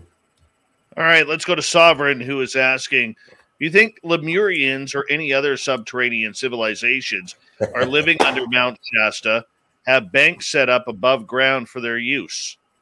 Ah, the banks. All right. So here's a, here's a good. Gosh, Dave, I wish I could bring you to Mount Shasta. I'm telling you right now, you would enjoy the heck out of it. Now, here's the here's the thing with Mount Shasta that you got to respect that mountain. A lot of people go missing on that mountain, and I mean a lot. So anytime, in fact, there's uh, uh, Native Americans that live there, and part of their heritage is you know the the that, that's their god. The gods, uh, uh, the people had been created out of that mountain, and or actually were saved during a hard time. I, I might be getting this wrong, so don't don't get me for this. But anyways, the Native Americans believe that we actually come from that mountain, and uh, we hid inside it during the cataclysms and the the ruining of the world, and we we had come back out. Now, there's a lot of people that have gone to that mountain, and even the Native Americans don't go past the tree line. It's it's sacred ground. I won't even do it just out of respect, but I mean it's sacred ground, and a lot of people disappear. You can look it up. There's a few people, even recently. There's a there's a gentleman that said that he met the Lemurians, and and uh, Telos, I think, is the name of the city that's under Mount Shasta. Now, Mount Shasta is definitely a spectacle, uh, spectacle to behold. It is beautiful, has crazy lenticular clouds that, that cover it, it year round and, and do kind of weird stuff. They look like UFOs all the time. Some of the stories about the Lemurians. I've never actually heard them hurt anybody. Usually they're helpers. Uh, there's an old man that disappeared on the mountain once. Um, there's a 50 50 where people go climbing the mountain. It's a spot called 50 50 and just past us, a little lake about 650 feet away, literally that close. And he disappeared, never been found in that amount of time, within that amount of space. And his travelers, which he had many, were right behind him. Uh, there's people that talk about openings in the uh, mountain and that the Lemurians are trying to use certain people as, uh, hey, you be our spokesperson. Let's get humankind that's on the on the surface and us inside to come together. I've been on that mountain a lot of times. Never seen a Lemurian. I have a lot of crazy feelings on that mountain. A lot of love. It's it's it's just I love that mountain. You you if you, as soon as you get around it, you can feel it. That mountain is awesome. I'd love to meet a Lemurian. I would love to meet one, but uh, the bank setup I don't know anything about the banks, but uh, if there's anything going on at Mount Shasta, the Lemurians know about it, and the people that were lucky enough to meet them, yeah, they know about it as well. Fellow Californian Surf Jer is asking, has the government ever told you to keep quiet? Uh-uh. Surf Jer, I'm going to tell you something real quick. My wife and my family are the only ones that have heard this, except for maybe a few smattering of friends, until tonight. So, if a week You're comes by, you're you're you, everybody on this, including Dave. Uh, uh, Dave kind of had a hint about it a couple weeks ago, but everybody, this is the first I've talked about it. Eddie would like to know: Do you think the triangles in the sky are government related or ET spacecraft? Both. I, I believe they're both. And in fact, I, I if I could say they're triple, they are. Uh, so most of the, I believe personally, and this could be completely wrong. I believe personally that most spacecraft that we have today that can't do things like the Tic Tac, like Commander David Fravor witnessed, um, most of the triangles that we see today that have the lights on them that blink is us the ones that move very quickly and the ones that you can only see with night vision, which I've seen, aren't because and I, I mean, any military ship can shut their lights off, but the ones that tell me look up, and when I'm looking up, I see them. I, I believe those are the ones that aren't us. And then the ones that a lot of people are seeing, like the TR3 or whatever it is, I think that's us. And and I also believe that a lot of that technology is something we've gotten from other technology that we've been given gifted. All right, let's go to Sovereign again. You ever seen pets or people vanish and thought to yourself that it was just some trick of the eye, but in reality, they did vanish when they walked behind something? Uh, I've only seen videos of that. I've, I've never seen it firsthand. Um, there's there's some very tantalizing videos where hey look where'd this dog go and it went behind it like it just walks behind a tree but comes from a different direction. I I've never seen it firsthand though. No. I don't know how I would react to something like that. I'm a little paranoid about stuff like that. It just doesn't feel good. You know what I'm saying? It doesn't feel good.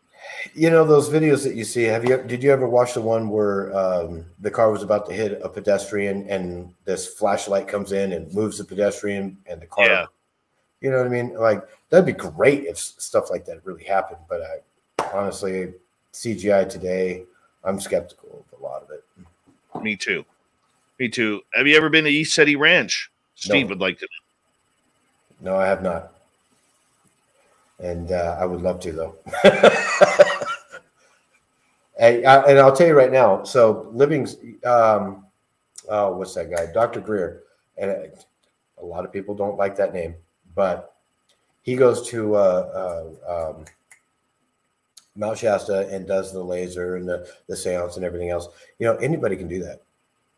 Anybody can do that. You don't need to pay any money for it. Just go out there with love in your heart and and a, and a, and a, and a just an open mind and love in your heart and and protection, and anybody can do that. But the ECETI Ranch, yeah, I'd love to go do that. Mm-mm. Oh, so would I. Oh yeah, I- So would I. I would be a big fan of that. oh yeah, me too. Yeah. All right. I want to ask you because, you know, we do have other questions that, that we'll get to here momentarily. But for you, when you look back and everything and you see that now it's continuing, what is continuing now for you? yeah, the um, it's the hard ones that continue. I mean, the fun ones are, are anytime I walk out that door, I, I look up, and, and when I see something that shouldn't be there, that that's the fun ones to me. Um, the ones that are really hard for me are the the ones that happen in the middle of the night, and it's like a full body. You're you're held down, and you see the shimmering person that's next to you, or the shadow person. And I I ended up getting to the point where I just fight those off. I really don't like those. I, I don't like messing with them entities, beings, whatever they are. I'm fully awake when it happens, and my wife has ex- experienced the same thing. So I know I'm not making it up, and uh, it's like I I would really rather just have a full night's rest and not deal with that kind of stuff. But when it comes to spacecraft that I see outside, that's that's the one I, I would love. I just I love it every time I see it. It really does kind of open your eyes to everything that goes along. Now, are you somebody who can summon in any type of craft or summon in any type of experience? No, unfortunately, I, I wish I was. And uh, the craft is is actually getting far and few between. Um, I don't. I, I kind of got it in my head that there's something that changed in me, uh, and and it actually makes me kind of feel bad. I like what what did I do wrong that I, I'm not seeing as many of these as I used to. Whereas you know the midnight experiences or the two o'clock in the morning experiences, they just, they just keep happening, uh, but they're random. But it's I don't know. I I enjoy it for the most part. For the most part, people are like, really? Yeah. For the most, what's there to enjoy? Anyways, Mr. Gray Owl, do you consider simulation theory as a possible reality that can explain some of the wide variety of high strangeness people experience? Hmm. Oh, um, Simulation theory, huh? Uh, there's there's a lot of great minds that are out there that are you know interested in simulation theory, but I mean it's it's completely possible. I, I don't have the the proof of anything. I haven't read any any kind of science behind it. It could be real. I mean, there's there's times where oh, what is that called? The uh, where things change. Uh, um, what's the name of that that effect that where you remember it as one way and it's now another? Mandela. The Mandela effect. Yes, that's that's probably the closest I can come to being a simulation theory. Now, when you get people like these great scientists that are out there saying that we're probably not in the prime or base uh, a reality, it could be. I, I mean, are we just a glorified Sims in a machine somewhere, and we're making a Sims? I mean, it's only a matter of about ten years now that that we're going to have a Sims that's so realistic we're not going to be able to tell the difference between us and it.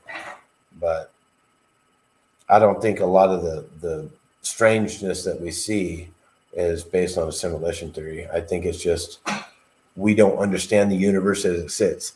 We don't understand the power that's there. I mean, uh, there's books out there that you can look at and, and they kind of resonate as true, like the electric universe.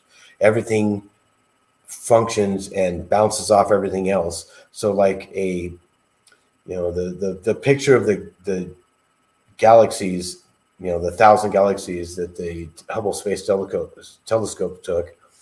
Those galaxies that are hundreds of thousands of light years away, they still affect our galaxy. So it's it's kind of like a I can understand the simulation theory, but I just can't wrap my head around it.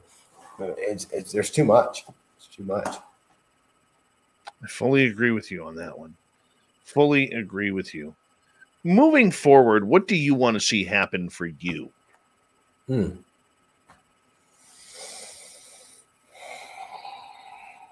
I mean, for myself, I mean, just have a normal, boring life, I guess. But I mean, realistically, for myself, I got everything I want. I got I got a, a, loving wife. I got kids, and yeah, I have some weird experiences every now and then. And uh, so moving forward, I got everything. What I would like to see for humanity is a little bit different. I would I would like us to wake up and I'm not even awake. Even though I'm having these experiences, I'm not even awake. Not fully, at least. Okay. Uh, in regards to that, and if this is too personal, please let me know. But are your children experiencing things now? Hmm. Uh, let's see. This is one, two, three, four. So four houses ago, um, we lived over in a town called Grants Pass, Oregon every single one of us, including the kids, felt this weird, not a good feeling inside this one room. And they were scared out of their minds to be in there. I walked in there one night and the kids weren't even there. They they were spending the night somewhere else. And I just I heard some noises, went through the house, went into that room. As soon as I walked in that room, I felt it. And I was like, oh my, I mean, just hair stand on end not a good feeling. It was it was all bad, and and my wife felt it too. The kids felt it. So yeah, they're they're starting to feel it. They haven't told me anything about sightings or uh, uh which is funny because my 11 year old, my son, he wants to see a UFO so bad that he, I mean, he, I bought him night vision goggles. He wants to go out every single night, whether it's a school night or not, just to go watch the heavens and find one. And uh, he hasn't seen one yet, but we're on track too. So, do you encourage your children to look for this? Oh, Considering even even with the experience that that you don't know what they're going to be going through. Yeah, I, I, I mean, why not be prepared? Yeah, if they see it, great. If they don't, then they're just not going to believe dad. But uh, why not be prepared? Because I mean, I, Hollywood does it for us. Everything that we see on the movies, you know, is going to desensitize you to this kind of stuff. Even though I will admit, I've never seen anything in Hollywood match the gray that I seen in real life and when I was five years old. But you know, if if you just if they're gonna have fun with it, make it fun. Don't make it something that's scary. That way, when something does happen, they're not gonna be so scared. And uh, I, whether it happens or not in a lifetime. One final question from our audience comes from Jonathan in the UK. Do you believe they are dead people, ghosts, or dimensional entities? Hmm. So that's a good one. Um, I don't know what happens when you're dead. I, I kind of have a, a theory. Well, so when you die, nobody knows what happens.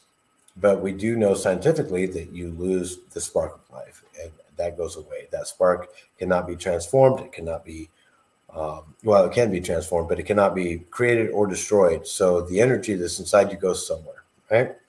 So in my theory is the electric universe actually makes a little bit more sense to me. Whereas you go back to, and I hate to quote this or say this because everybody says, oh, it's a movie the matrix, you go back to the source or the energy. And I think what happens is is most people when they die, their energy goes somewhere. Whether you, I don't know whether you're reborn into another life. I don't know if you turn into a rock for a millennia or how, what. I don't know what happens. Um, the dimensional entities actually kind of make sense to me a little bit as well because energy can be dimensional. You cannot see electricity. Go ahead and take a light bulb out of your uh, out of one of your light sockets and leave the, the power on. Don't do this, anybody. But if you touch it, it's going to shock you. You can't see it, but it's still there. So yes, they can be dimensional. I I I don't know if there's another me five seconds before me saying the exact same thing, or if someone's doing hundred percent different activities than I am, but we share the same DNA. So it's it's all up in the air. I wish we had the, the answers to that question, but we don't. What would you like to solve? Hmm. I would honestly baby steps. Um, short of an, a spacecraft landing on the White House lawn, I, I would like to at least. I mean, look, I don't know. This, that's that's a good one. What would I like to solve? I think a lot of this planet has a lot to solve before we ever find out what's going really going on in the universe. I mean, look look at. Um, I won't mention uh, an actual direct name, but look at certain pandemics that happen in in uh, uh globally, and people freak out. You know, store shelves are empty and everything else. Could you imagine what would happen if a, a UFO actually oh, did land? Yeah. I mean, exactly my opinion. Exactly my opinion, and I stated that last night on Science Bob and Friends. Oh, like, I missed oh. that one. Uh, and they were like, "Oh, society's ready." I'm like, I disagree with you guys. Mm-hmm. You know, people are brave until put in that situation, yeah. and yeah. it doesn't matter how bright your mind is. You could be as smart as Science Bob, you know, or as much of an oaf as I am, and you don't know what, how you're going to react until you're put in that situation. And I don't yeah. have a lot of hope for society when the aliens come. My friend, we got 30 seconds left. Let everybody know how they could get in touch with you. Uh, my name is Grant Baker. You can find me on Facebook. Uh, don't check anywhere else because I really don't have anywhere else to go to. Um, my name is actually Grantavius here on YouTube. I don't post a lot of videos. This is my first time in the limelight. If you guys want me to do kind of any kind of things post more or do something or make videos, just let me know, man. I got all the equipment. I can do whatever you want. But yeah, just hit me up on on Facebook. I've met a lot of great people through SOR, and I'm happy to be here. Happy to meet the people I met. Can't wait to meet you in real life. Grant Baker, everybody. What a story. Absolutely love it. We're going to continue with hour three. We got Swamp Dweller. We got Super Duke next on Spaced Out Radio.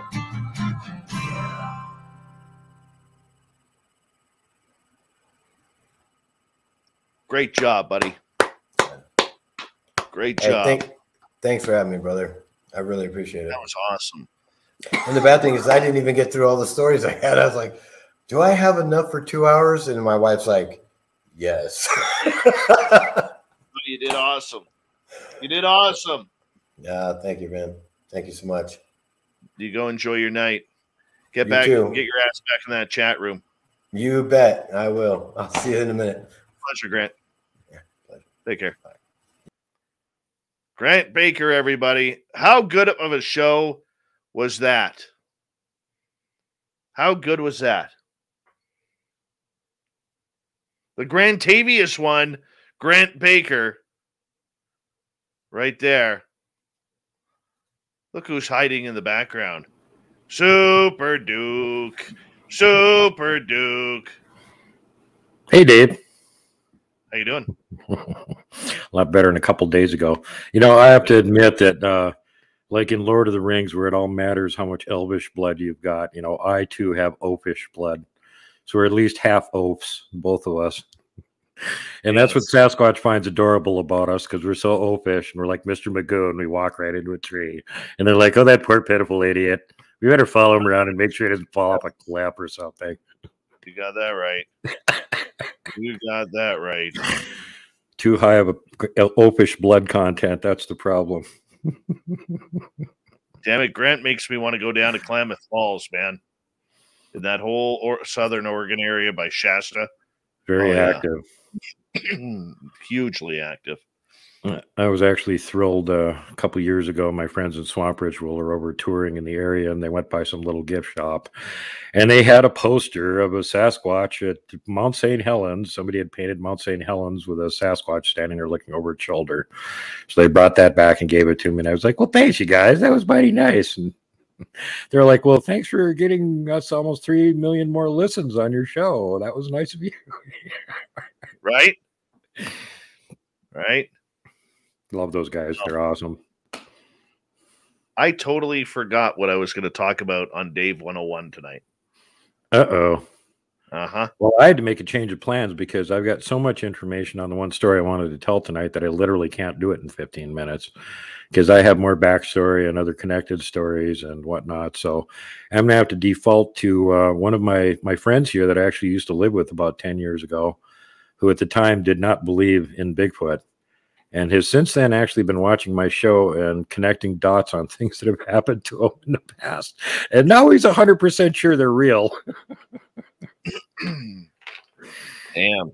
And wait until you hear the two encounters that he's got that I'm going to actually, I'm trying to get him on the show because he can fill an hour and a half with all the stuff that's happened to him that he was trying to disbelieve and convince himself it was not Sasquatch related. And a couple incidents have just happened in the last few years that have just like completely blown that little bubble up. And it's like, no, this stuff's real. They're out there. Mm hmm. Let me get rid of this heartburn. Yeah. When you get older, you can't eat the same stuff as when you were a kid. Oh, I had such a great dinner tonight. and then your stomach went, What the heck is this? This is stuff we used to eat when we were kids. What should we do with it? Send it back up? Nah, just burn it. Set it on fire. I hear you. I hear you there. I got to figure out what the hell I was talking about. It'll probably come back later on as uh, Swampy's going or or I'm talking. One or the other, you'll think of it. Mm-hmm. Mm-hmm. Oh, Swamp Dweller, what an output, man. Be able to turn out that much content all the time. That must be doing nothing but working. He, every day. It's every day for him. But when you're that popular, you know, people want their you you can't stop. I- I- he'll take holidays, but you, you just can't stop. Mr. Favorite YouTuber, what or how's it going? Or my favorite YouTuber, sorry. Welcome to the channel.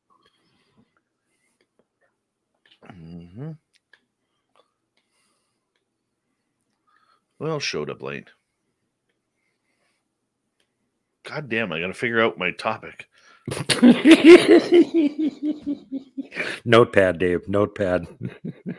I that's my problem. I went to write it down and I forgot. Forgot the notepad. I'm gorgeous Marilena. How are you? Okay, Murray. Like, what am I supposed to do, dude? Hmm. Marilena Bonavite has been on my show before, telling us Jeremy about Jones, what's happening? cryptids.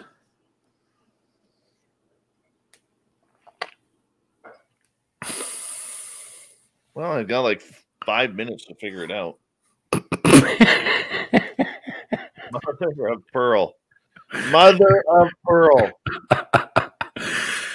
Well, I have to go back and watch your show when I get done recording here with you because I was busy recording my upcoming show with Robert Kreider, so I missed almost all of it. And whenever you got a cryptid guest on, especially, I got to go back and watch it. So I'll be up late work working and watching your show tonight. Nice. Tonight's a good one. Tonight's a good one to re-listen to. Yep. Well, you Crow know, Frank, it's very rare that you get any kind of spuds on here as far as the cryptid people. You're getting mostly A-listers all the time, so that's great.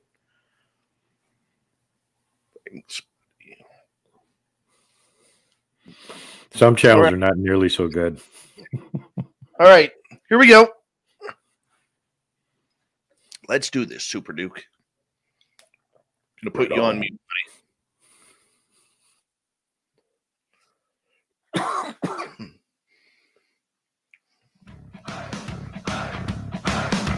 You like to connect with us? Head to spacedoutradio.com for all your latest show info. Now, back to Dave Scott and SOR. Third and final hour of Spaced Out Radio is now underway.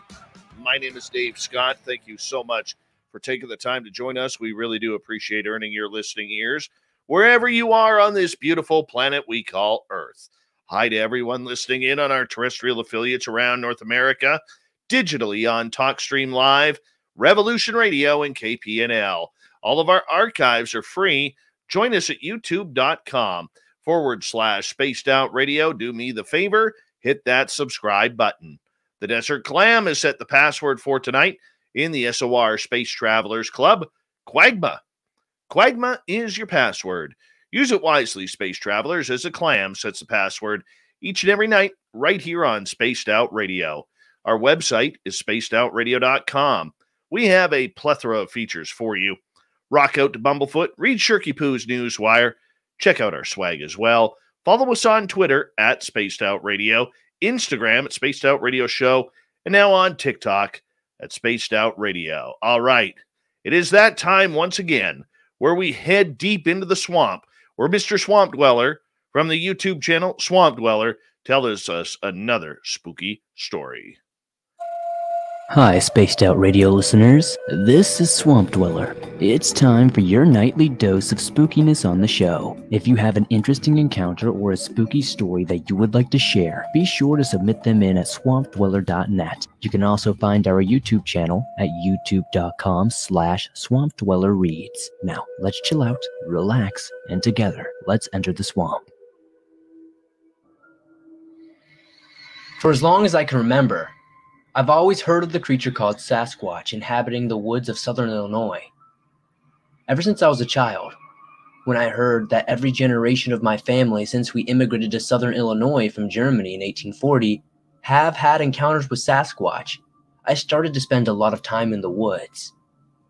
Now, bear in mind, leading up to this encounter, I had always heard that Sasquatch had been known to be aggressive with humans. But, like most people, I thought it would never happen to me. Little did I know, I would never be more wrong when it came to Sasquatch. On a night in April of 2017, everything would change. My outlook on these creatures of the forest would change forever. Leading up to the encounter, I had been hearing sounds coming from a patch of woods that were off of my family's property. Maybe for a little over three weeks. They were whoops, screams, howls, the usual Bigfoot signs. So one night, it was a full moon, and I decided to go in one night while the getting was good and try to get the creatures on audio and video. So, I let the necessary parties know where I was going to be. I got my camera and digital recorder, loaded up in my truck, and I drove down to the woods where we'd been hearing the sounds come from. I walked in on foot from the main road with my gear, and I found a tree structure and started to record it with my camera. I was hearing movement around me the whole time. My light was on the structure. So I continued on my walk. I was in the meadow that was bordered by trees, creeks, and on both sides. I came across this one creek, and I came up on the other side, and I sat down on a log to rest my back and my legs. I turned on my audio recorder to make note of what I had seen and heard through the night. Then I reached in my back pocket and pulled out a can of tobacco and took a pinch of it, put it in my lip, and put the can back in my pocket. When I popped the lid back on, it made a really solid sounding pop, like a tree knock. About 10 seconds later, I started hearing chatter all around me at whisper level. Real quiet, but still distinct enough that you could hear speech. So I sat there and I listened to these two or three individual creatures talking back and forth up the hill behind me, up in the trees. I was so mesmerized by listening to them that I forgot to kick my recorder back on. And this went on for about a minute. If these creatures were going back and forth like that, kind of sounded like children talking. But it wasn't English. I don't know what language or what it could be. Then, I heard a big tree come crashing through the canopy across the creek about a hundred yards away, and I heard something cannonball the creek and come up the bank. Up out the creek came a very large Sasquatch, from what I could see in the moonlight. The creature was running across the meadow towards me where I was. So I got out of there as fast as I could. I got on the phone and called in my backup and told them it was a code black, which means aggressive individual. I made it to the main road, and there was a stone culvert underneath the road. So I got in, deep enough where I would be out of reach of the creature. I shined my light out the one end and into the woods, and I saw the creature come to the edge of the woods that I had run out of. It stood there and watched me. Then I could see the headlights coming over the hill and across the woods. I was in the car, and a car horn going off. That's when the creature turned and walked back into the woods. I didn't realize it until I had got back to my truck after my team members dropped me off at it. But I ran out of the woods without my video camera and little tripod. I've been back to that area many times and still haven't been able to find my camera to this day. Word to the wise from this encounter expect the unexpected. Don't think that just because it's only happened in a country on the other side of the world, that doesn't mean it can happen to you. Sasquatch are unpredictable and are more intelligent than we give them. All right. Big thank you to Mr. Swamp Dweller for checking us on out, telling us another spooky story, and firing it up tonight. Yes, you can check out his channel on youtube.com forward slash swamp dweller reads. Now, sticking with Bigfoot and cryptids, we got Super Duke from World Bigfoot Radio and the Cryptid Report.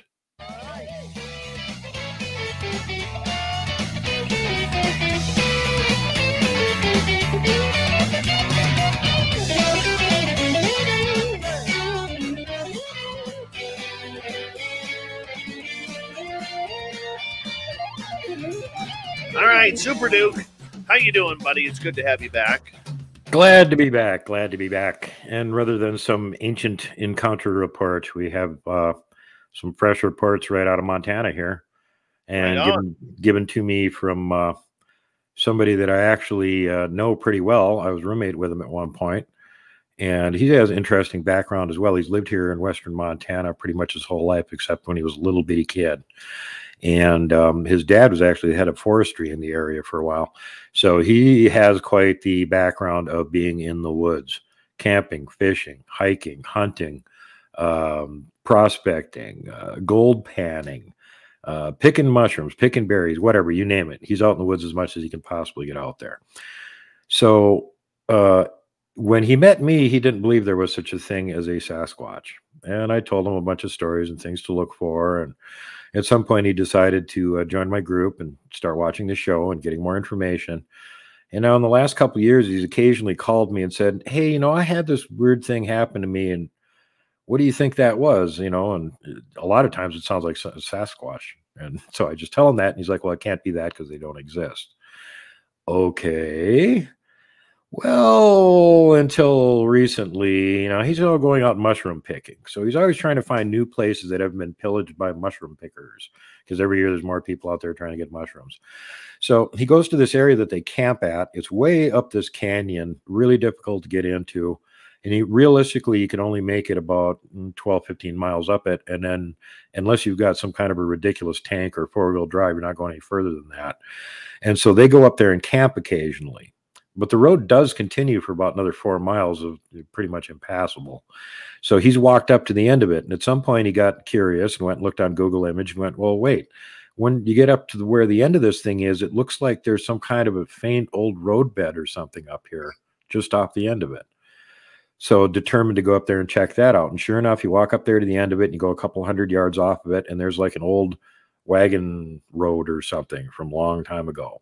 So he follows that a couple more, two, three miles, and there's a side canyon right next to it. So he gets curious and goes and checks out the side canyon. Apparently, it's never been logged. It's got five, six hundred year old trees in it. We're talking about Pacific Northwest giant redwood sized trees.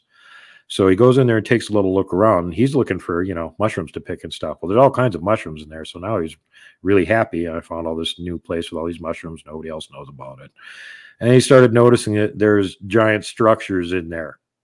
And they're not ma- even made with the local trees. Like he said, literally, there's no lodgepole pines in this valley. Somebody's been bringing in entire lodgepole pines and making structures and teepees out of them.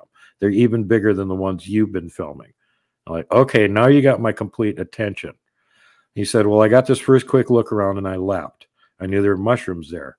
So the next time I came back, I brought some friends with and we drove the car as far as we could up the road. We brought our little radio flyer red wagons with us, determined to go up there and pick all the mushrooms we could get, fill up the wagons, and drag them about four miles through the woods back to where we could get as close to it as possible with the car. So they did all this. Nothing really peculiar happened. They got back to the car, put all the mushrooms in, getting ready to go down the road, and they just went around this little corner, maybe a quarter mile, and there's a tree across the road, really big tree, about three feet in diameter tree. Well, there hadn't been any windstorm or anything since they went up there a couple hours before. So, you know, what's caused this? You know, they weren't up there more than four or five hours max. so he goes over with a curious eye and takes a look at it, and there's clear impressions in the ground of giant footprints of two individuals at least that pushed this tree over and blocked the road with it. This ain't good news for them because they don't have a chainsaw. So they had to walk the remaining three or four miles back to camp again. And they were stuck there because they couldn't get their vehicle out. So they were there for two days until somebody else came up the road and they went, Thank God somebody's here. Do you have a chainsaw? Which they did. And they helped them saw the damn tree and get it out of the way so they could get their car out. Well, the next time he went up there about a month later, he took one friend with and went, Hey, I got to show you this cool area. Let's hike up there. Well, when he got up there, he started having real peculiar behavior right away, started hearing weird noises, whoops, stuff like that. When they got closer to the valley, they could hear roars coming from it and they could see the treetops waving. Well, he isn't taking a hint very well. so he goes into the valley with his buddy, and I know both of these guys and they were actually ripping out smaller trees and throwing them at him. And I'm like, well, what do you think is doing that, bears? And he's like, no. well, what do you think it was? And he goes, well, when we got back to camp, they came and visited us all night long. And I'm not going back up there again unless I got several people heavily armed that know something about Sasquatch with me. So guess where we're going next summer? Is is Dave on that list? If Dave wants to come with, and Dan Dave wants to take a hike like that into super dangerous territory, it, it, even if we don't see or hear anything, we get a chance to film pristine original forest that's been there for 600 years. And like most of the Pac West has been logged off at some point. But apparently, this valley was too hard to get to, or just who lived there wouldn't let them get near it. So it's never been logged off. It's still in its original pristine form. Now, how much time do we have left here? Uh, we have 10 minutes. 10 minutes. Okay. Here's another report from the same guy. Now, this one happened about four or five years ago, and he was up um, panning gold in a local cream, uh, creek. It's about 12 miles up to the, the end of the little road, access road, and it turns from pretty nice road to really lousy road to really lousy one lane road to why am I even trying to get up here? Oh, the road's finally ended. There's a little field and there's this creek. Well, the creek's got gold in it, and he knew that already up there. So he's up there all day long panning gold, and the whole day, like four, five, six hours. If anybody comes up to the end of the road, he's right near it. He can hear the vehicle. He'll know they're there. They're going to turn around and go back again. There's nowhere else to go. Nobody comes up there. So finally, at the end of the day, he's you know had as much luck as he thinks he's going to. It's getting close to dark. Go jump in the vehicle, head back to town. He gets about four miles down the road, and there's an obstruction in the way. Now, keeping in mind, on one side, you've got this embankment that's like practically straight up and down. There's little angle to it, you know, like, yeah, that much. And then same thing on the other side, but it only drops off about 10 feet, and then you're in the forest. So steep embankment on one side, going up a couple hundred feet, forest on the other side. What's in the middle? Well, it's a, a tandem dual axle, really big pickup with a camper on it that's upside down blocking the road. And the first hmm. thing that he thinks of is, how in the hell did they flip this thing? There's no room to even flip it over. The road's one lane. So he's looking at the embankment going, did they try and drive up it and turn it around and they flipped it or no? There's no marks up there. He can't see anything on the lower side. It's just sitting there upside down. And then the next thing he notices is there's no damage to it. Like if it rolled over, in order to get on its top, it would do damage to the side from all the weight going over. It's just upside down. And when he gets close up to it, he can see that there's people on the far side of it. And one of them's running toward, you know, as fast as they can. It's an older couple. And the old man's coming up to him going, Hey, can you help us? We don't know what happened. And he's like, What do you mean you don't know what happened? How did this thing flip over? And he goes, We had it parked in the road. There wasn't really enough room for anybody to get past us. So we figured we'd take a little short walk into the woods. So if anybody needed to get past, they just honk their horn. We could hear it. We'd be back at the vehicle in about a minute and we could move it so they could try and get past us, you know. Well, what happened? Well, I don't know. We just heard this crash. And when we got back here, it's upside down. Okay, what can pick up a three and a half ton truck with a camper on it and turn it upside down without rolling it over? Chris immediately got suspicious and started looking around for tracks but he couldn't find any. The ground was, you know, you could drive a bulldozer across at that time of the year and you wouldn't leave a track on it. So we have no idea of knowing what did this, but he managed to actually coax his car past on the embankment side and get it past where the vehicle was blocking the road and take the old lady into town to get a tow truck to come back out and get their vehicle out. They weren't even from Montana, they were vacationing from a neighboring state. So my question is what can turn a three and a half ton truck over without rolling it? That sounds like aliens, man. That's got aliens written. You got aliens. It. Well, you could also have mountain giants because we know we got those out here, and they are big enough to do something like that. You think they could lift three and a half tons like that? Oh God, yeah. Even the giant Sasquatch we got, dude. In our research area, we we documented the first thing that we noticed there that got us interested in the first place was Richard Williams going into the area, driving up the pass and going, "That looks like a giant X structure. That can't be an X structure. It's too big." Stopped walked across a little river, climbed up on the embankment, looked at it. It was an X structure. It had two entire lodgepole pines. Both had been moved into position. There weren't rip balls or anything on either one of them. They'd been torn out from somewhere else, moved into position. No bark, no branches on them. I've talked to three different local loggers. Okay, here's the picture. See how big these lodgepole pines are? What do they weigh? And they all gave me the same estimate three tons each. Wow. That is crazy. That is absolutely crazy. So yeah, these the big boys in some of these places where they get really really big, it's insane how strong they are. I mean, even a gorilla makes us look like a little wimp, and they're like a little wimp compared to like a 12 foot Sasquatch, what those guys can do.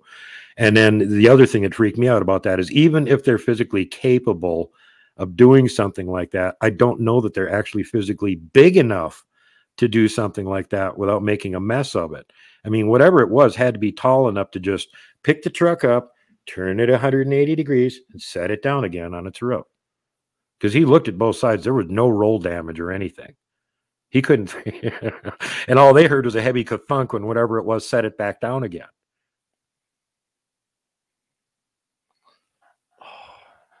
This makes me hurt my head. It's uh, it it makes me kind of paranoid because I have to go into these areas where these things potentially are, and one of my researcher buddies, Michael, who's uh, the na- main man on my team, uh, number one, he was up in uh, one of the areas we do research in, driving down the road about two miles from one of our favorite spots, the ghost town of Coloma, and he saw a big X out in the woods. So he went and checked it out. And while he was there, he got two things happen. First of all, the peculiar feeling that something's watching you and it ain't happy. And then the other thing is he noticed a, a 25 inch track with four toes. Put his foot down next to it, took a picture of it. And at that point, he decided he should take a hint and get the hell out of there, which he did. And he went back to the vehicle with his family in, which were maybe, you know, less than 100 yards away. And when he got in, his wife said, I'm so glad you came back. Me and the kids are getting scared. We got this feeling something's watching us. Wow.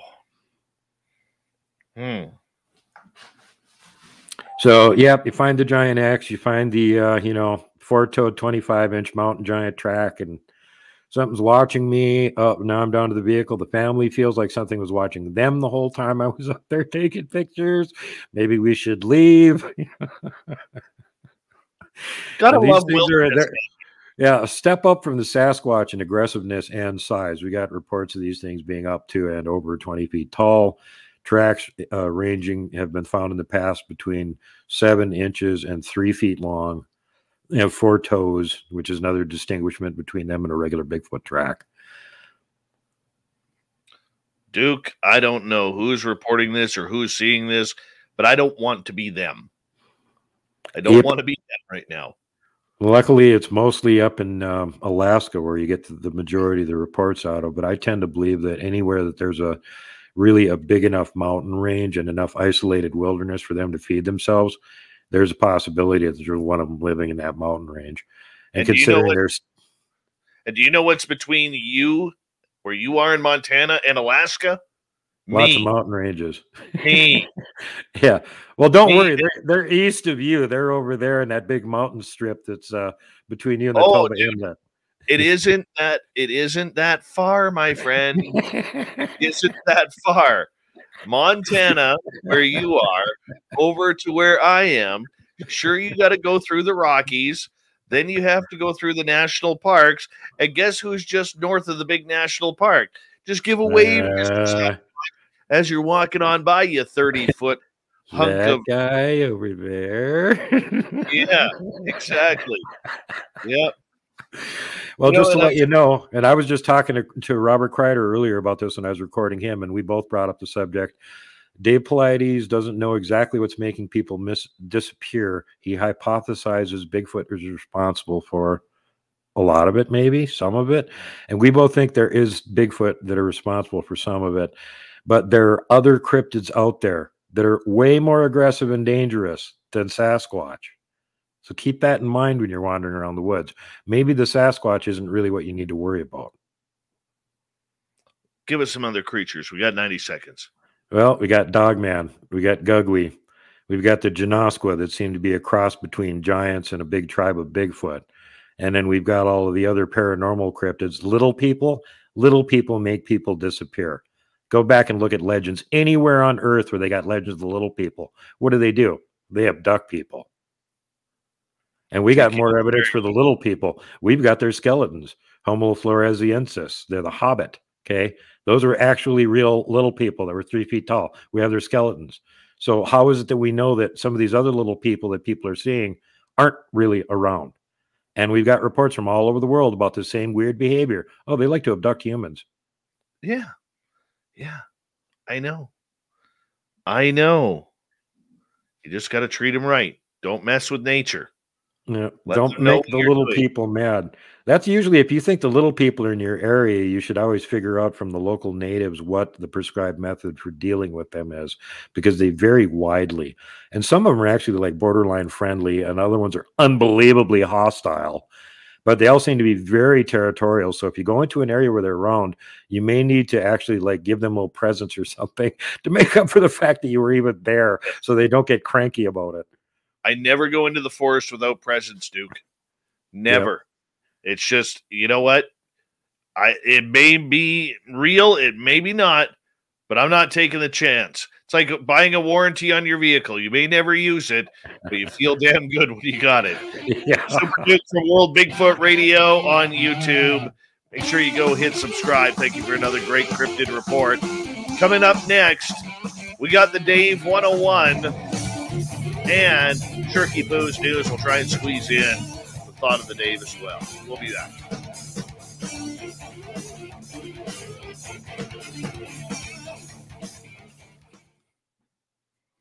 Great job, Super Duke. Right on, man. Well, I wasn't reading a script on this one. It's just reports that I've been getting here locally. I can hardly wait to have this guy on the show because he started out from like, "There's no such thing as Bigfoot. There's no such thing," and now he's like, "Yeah, Bigfoot's real."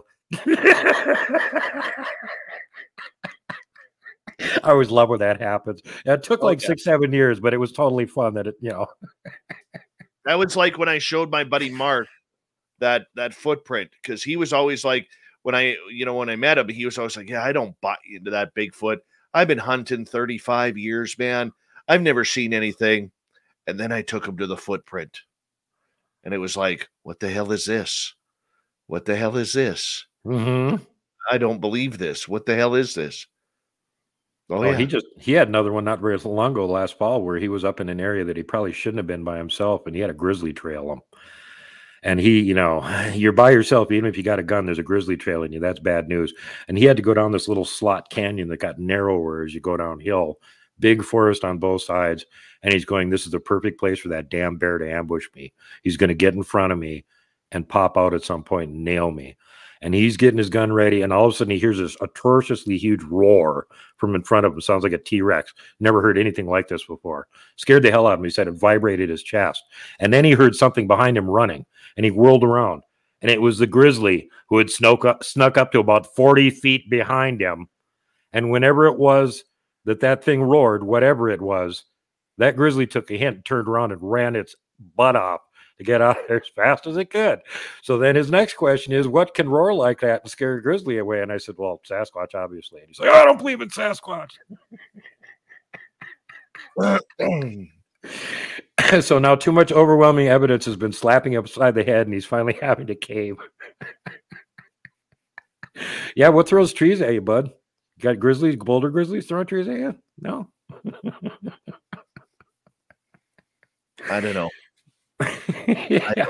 Bears don't throw trees at you. I can unequivocally state that. Bears do not throw trees at you. That is one of the things they do not do. If something's throwing trees at you, there's a very short list of what it could be. if something is throwing trees at you the only answer is to get the hell out well, yeah, at least they figured that out. Well, after the display and the treetops shaking and all the roaring, and they started throwing Yeah. trees at us, we went, eh, maybe we should leave. Duh. You got that right.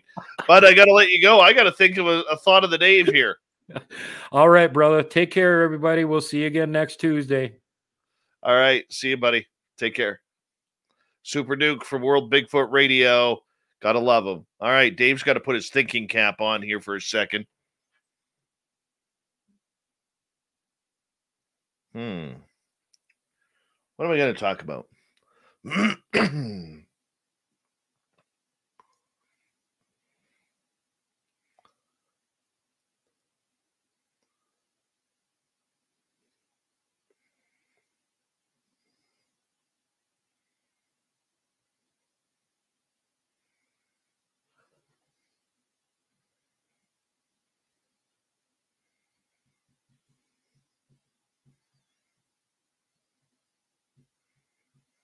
hmm.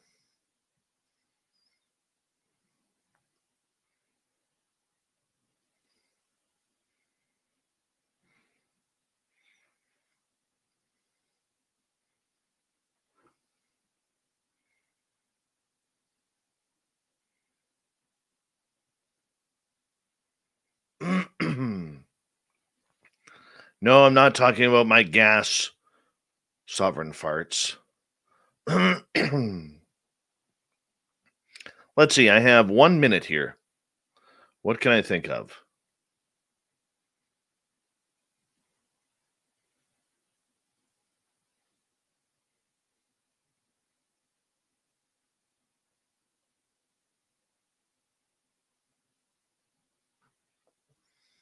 Got it.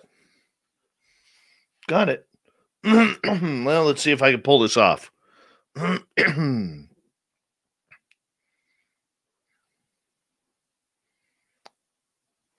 Grand Tavius, thanks for that super chat, man. Appreciate that. Loved having you on the show.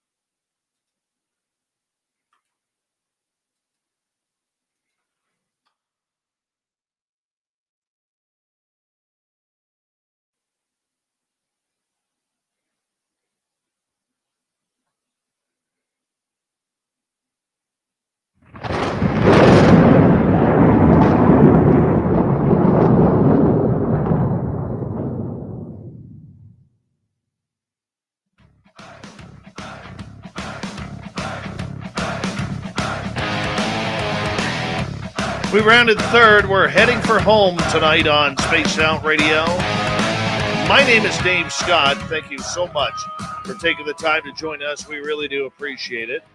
Want to remind you that if you missed most of this show or others, check out our free archives at youtube.com forward slash spaced out radio. Do old Davey the favor, hit that subscribe button. Our website is spacedoutradio.com. We have a plethora of features for you rock out to Bumblefoot, read Shirky Poo's Newswire, check out our swag as well. Follow us on Twitter at Spaced Out Radio, Instagram at Spaced Out Radio Show, and now on TikTok at Spaced Out Radio.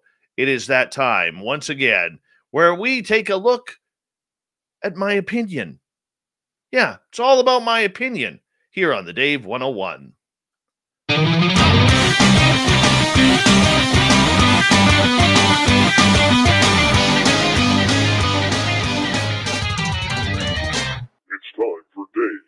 101.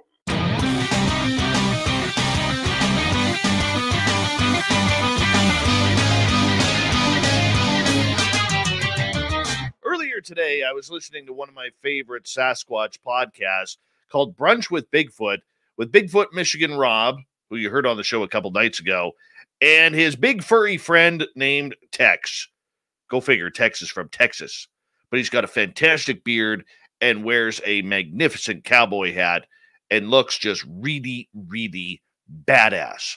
They were talking to Ronald Morehead about the Sierra Sounds and the fact that there is so much woo starting to go around the Sasquatch world that it is one of those topics that really now needs to be addressed.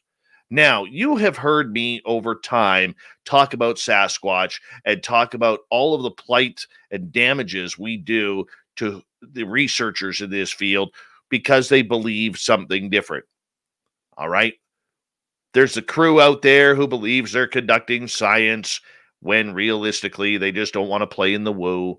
There's the people who call it the monkey, the great ape, the gigantopithecus, and the great North American animal as well. Look, there are many different opinions of what we're looking for. But the big thing is, what do you do if you decide that you want to go out into your local forest and look for the legend? See, I've asked this question many times myself. Dave, what do you do? Well, I'm lucky enough to be in a position where I know a lot of people who know a hell of a lot more than I do. And I'll be honest, I piggyback off their words. But here's the one thing that we forget. Think about this. We forget about safety. Safety, yeah. Do you know the animals in your woods? Do you know which animals can harm you and which ones won't? Do you know how to react if you come across a bear or a mountain lion? What do you do? This isn't the city, folks. You just don't go here, kitty, kitty. No, no, you don't. Before you even start looking for Sasquatch, learn your area, learn your route. Always let someone know where you are going. If you don't have a family, if you don't have friends, or your friends are going with you, who do you tell? Call your local police up and say, Look, I know this sounds stupid, but I am going out with my buddy or myself or whomever you're with, and we are going to look for Sasquatch in this area. We are going to be gone from this time to this time. And we would appreciate it if we don't call back and check in, if you kind of come looking for us, because Sasquatch may have killed us or harmed us or hurt our feelings, and now we're in a safe spot in the forest. That's number one. They'll laugh at you. Sure, they will, but it's in good humor. You just take it. And then you check back in, they say thank you. It is a great safety net. First and foremost, let somebody know where you're going. Number two, pack for safety. Make sure you have a first aid kit. Make sure you have a flashlight with new batteries and extras. Because if you get into the world of the woo, you know something's going to dim that flashlight pretty darn quick. Number three, bring an extra change of clothes. What happens if you slip, rip, or chip anything on your clothing? And while you're talking about dressing up and getting ready to go look for the Sasquatch, you don't need all full army fatigues to go out the forest. You don't. Sure, it looks cool. Sure, you blend in with nature. But you know what? You can do it in a pair of jeans. You could do it in comfy sweatpants, a hoodie, whatever. But make sure that you have enough to stay warm. Because if you get stuck out there and you got to sleep in your vehicle, your vehicle still gets cold. And you're going to want something warm. Shoes. What kind of shoes are you wearing to go out in the forest? Me personally, normally I wear steel toed boots or hiking shoes. One of the two. Don't go wearing your flip flops. Don't go wearing your Skechers slip ons or your best pair of Nikes. All right. Or if you're over the age of 55, your New Balance runners, sneakers in America that are bright white that you're going to be offended that you got them dirty. Wear proper shoe attire. This is for your safety. One with a thicker sole, just in case there's something sharp sticking out of the ground. Make sure you are prepared for your footwear. Always bring an extra pair of socks. Why? Because in case your feet get wet, you change them. The first way to get cold in nature is to get your feet wet. When your feet are soaked and your feet are wet, that's a sign of a problem. Bring socks. It's true. Moving on. Bring gloves. I don't care if it's the dead of summer. In the forest, it gets cold at night. The temperatures are different than in the city. Make sure you're prepared. Now, what do you bring with you for gear? Bring a recorder with you. So that way, if something roars at night, you can record it. Your phone works for that. It does. What else do you bring for gear? Binoculars. Why? Because maybe you want a close up of what that tree is or that giant stump is or why is that tree shaking? And you use your binoculars and you see that it's a pack of wild horses and not Sasquatch or a bear scratching its back. Bring sunglasses, something that can protect your eyes. Bring a chainsaw with you because you never know in nature when a tree is going to fall. But most importantly, Bring a GPS. Always have a GPS with you. Know your coordinates. Learn where you are. And if you can't afford a GPS, go down to your local pawn shop and pick up a compass. Learn where the sun is.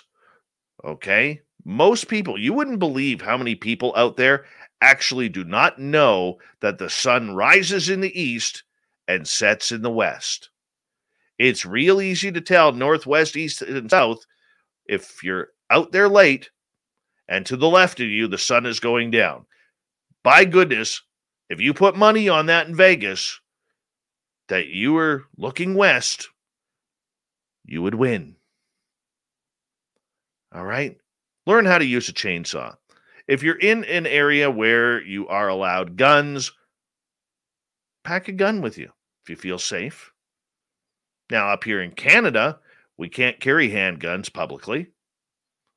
No, we're not mature enough for that.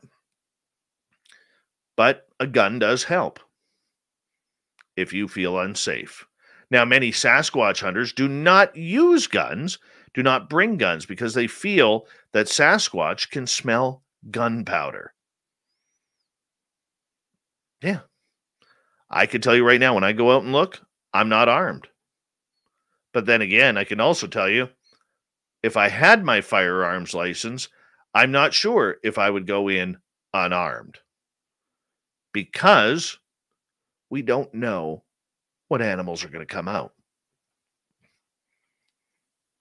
Bring a phone with you because even if you get no signal, zero signal, 911 always picks up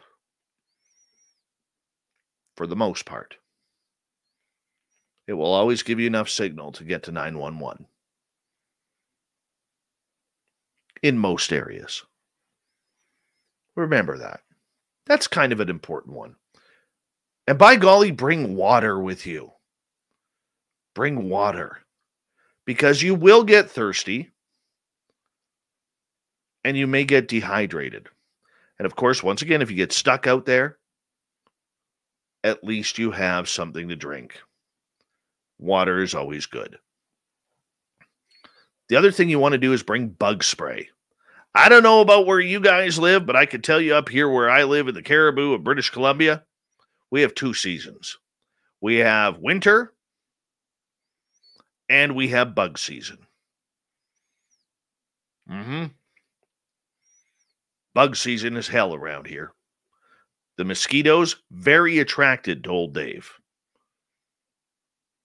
Make sure you have bug spray or some kind of bug deterrent. And you know what? Doesn't matter how hot it is, you will wear long sleeves. Wear a baseball cap or a, some sort of hat on your head. Why? Well, number one, if you want to put mesh over your face so the bugs don't land on you, a hat will hold it down. Number two, if it's warm, it'll keep the sun out of your eyes. Number three, ticks. Yes, ticks.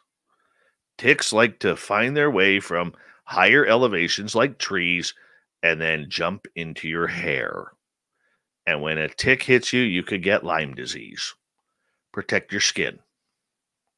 It's true. It's very true. Now, when looking for Sasquatch, take the 10 minutes that you will need to watch a number of YouTube videos on what you need to cast a footprint. Okay, go down to your local hardware store, costs about 30 bucks for all the gear and get yourself some molding casts.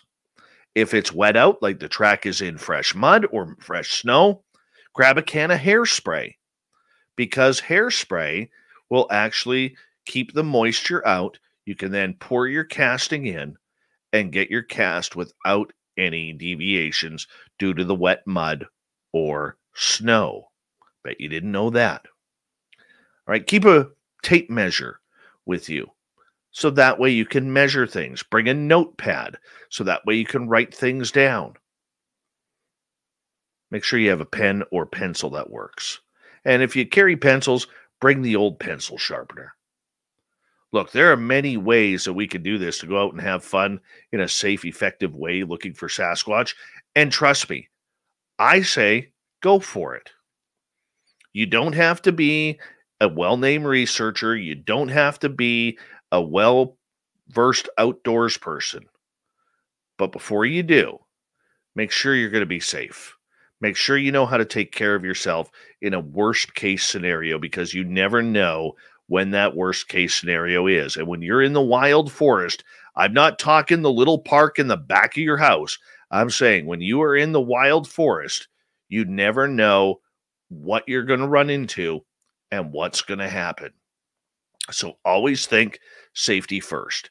Now go on out there once the snow melts and go find your Sasquatch. It'll be a lot of fun. Let me know what you think by commenting down below on our YouTube channel. And we say that's it for Dave 101 this week.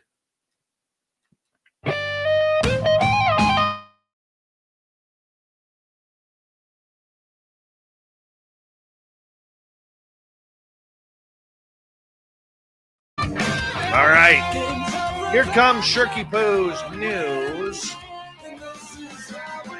Let's start off with a real cool story. A paralyzed man with a severed spinal cord has been able to walk again thanks to an implant developed by a team of Swiss researchers.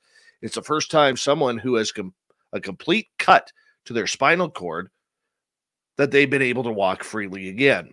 The same technology has improved the health of another paralyzed patient to the extent that he has been able to become a father. Yeah, Michael Roccati was paralyzed after a motorcycle accident five years ago. His spinal cord was completely severed. He has no feelings in his legs at all, but he can now walk because of the electrical implant that has been surgically attached to his spine. Someone this injured had never been able to walk like this before.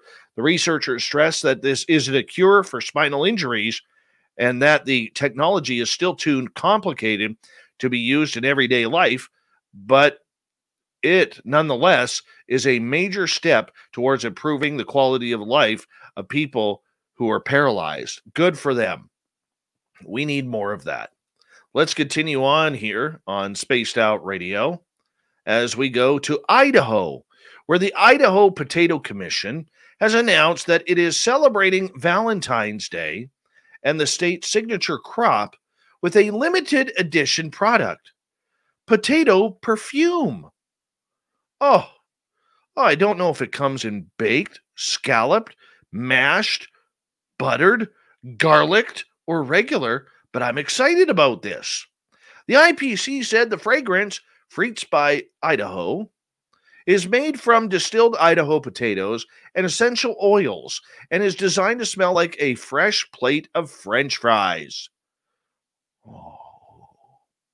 Whether you're at a drive through restaurant or dining in, it's nearly impossible to not grab a fry and take a bite before you dive into your meal. The smell is too good to resist, IPC President and CEO Jamey Higham said. The perfume is a great gift for anyone who can't refuse a french fry. The commission said the $1.89 bottles of the fragrance sold out quickly on the IPC website, but social media users could still enter an Instagram contest to win free bottles. Let's continue on here. We don't relish telling you this, but it's kind of a big deal. Oh, I hate it when stories have puns like this. Why me? Why me? I'm blaming Shirky Poo for this. Totally blaming Shirky Poo for this one. The Portland Pickles baseball team said their beloved mascot, Dylan T. Pickle, has been stolen, and they are seeking the public's help in bringing him home safely. It all started in the Dominican Republic, where Dylan was making an appearance at a Caribbean baseball series. He was due to return to Oregon via New York City on January 31st. A week later, the team tweeted out some jarring news an alert message from Delta showing that the bag he was traveling in had been lost somewhere at JFK International. You win one championship this century and think you're too good for storage on an airplane, the Collegiate Summer League teams tweeted to its 29,000 followers. As the days passed, the team put out multiple APBs, which stands for an All Pickles Bulletin, sharing the missing gherkin on posters and calls for help across social media. The team stressed multiple times that the whole thing wasn't just a prank gone sour because, as a member of the media stated, Dylan the Pickle has a reputation for hijinks. Still, team officials are assuring the public that they're not gherkin anyone's chain. Oh no, that's badly written. We definitely know are known for being funny and joking around a lot on social media, so we understand the boy who kind of cried wolf scenario, assistant GM Parker Huffman said, but this is definitely not a joke. Dylan's story took a turn on Thursday when the team shared that Delta had found the mascot and delivered him home to their office, but after hours without any notification. Instead of being welcomed back with open arms, Dylan was then snatched from the front porch at around 5 a.m. local time and carried away unknown by a damn thief.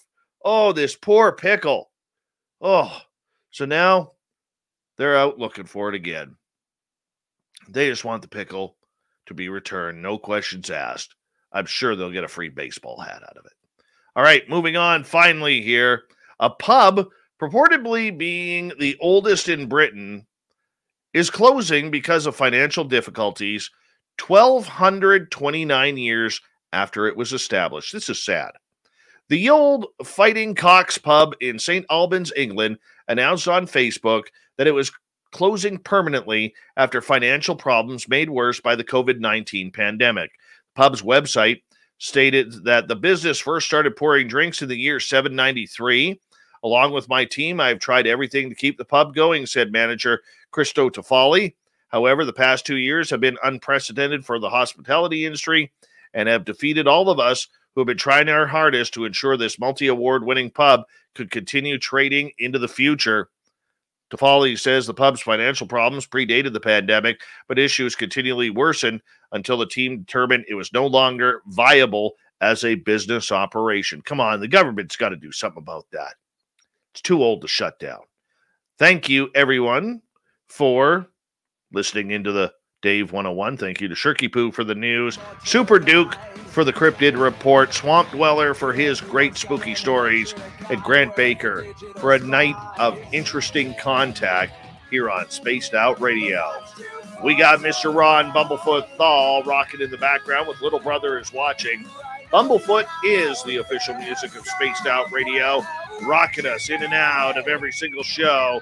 Get your horns up for the guitar god of self. Special thanks to everybody listening in at home, at work, in your cars, wherever you may be. Thank you to everyone in our chat rooms tonight YouTube, Twitch, LGAB, Revolution Radio, Spreaker, Facebook, the Space Travelers Club, and on Twitter at hashtag Spaced Out Radio.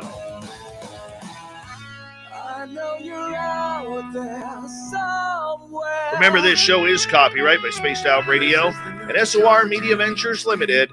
Thank you so much for choosing to share your evening with us because together, my friends, We're watching. we own the night.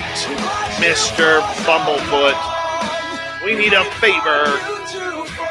We need you to take us home.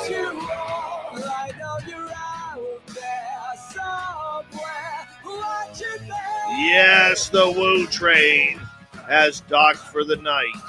But soon, my friends, we shall ride again. Your seats are always available. Your tickets never expire. And if you want to bring a friend, we've got room for them too. Good night.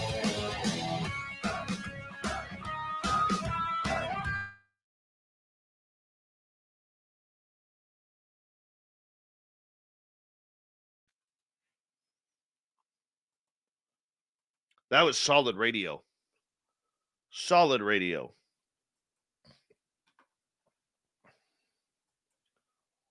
Good job. Good job, people.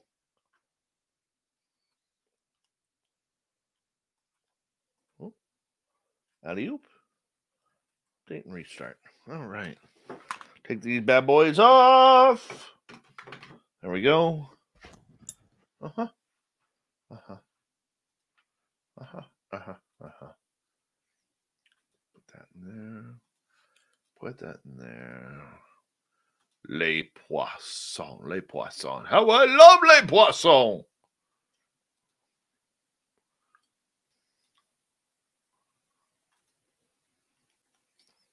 Mm-hmm. That wasn't bad for one minute of preparation, Nicola. I'm not going to lie. One minute of preparation on that one. I'm actually happy with the way that turned out. Not going to lie.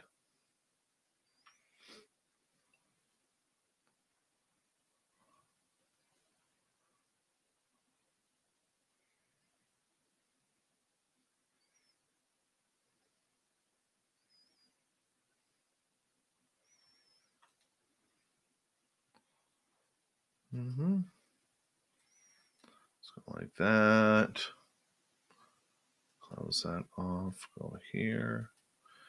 Do this. Do that. Do this. do that. Check that. Go wow to that.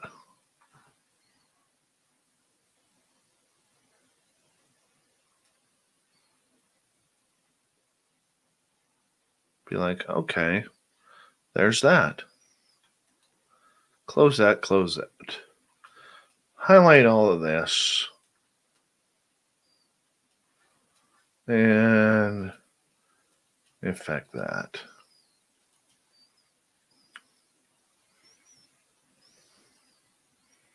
Close down that.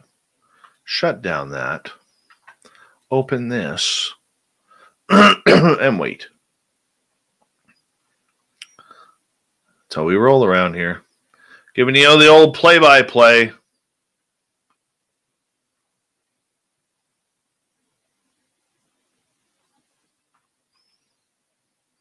Hey, no problem, Bigfoot Rob. That was a good show with Ronald Morehead.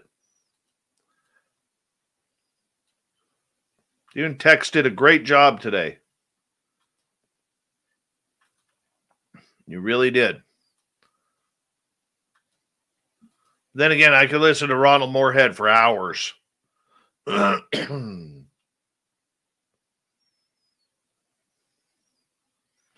Mystics Walk. Ted Forquarian. How are you?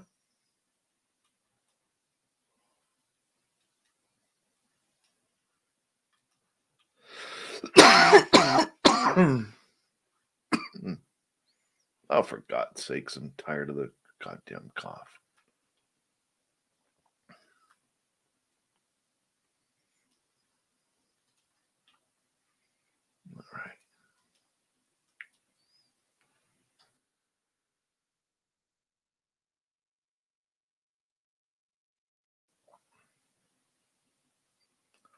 All right, moving forward.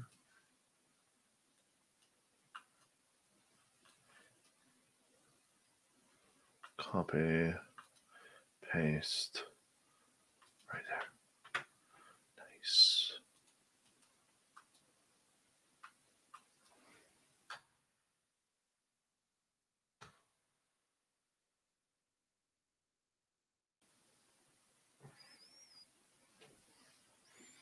All right, that one's gone.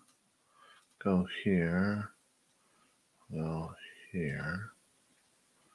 I'll go to here. Let's try that. No, that's going to be there. Copy. Paste.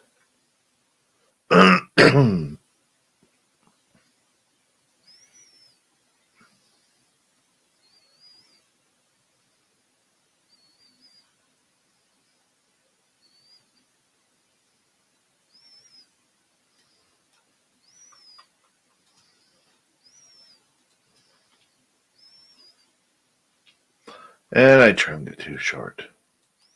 Damn it. Undo. Undo. For freak's sakes.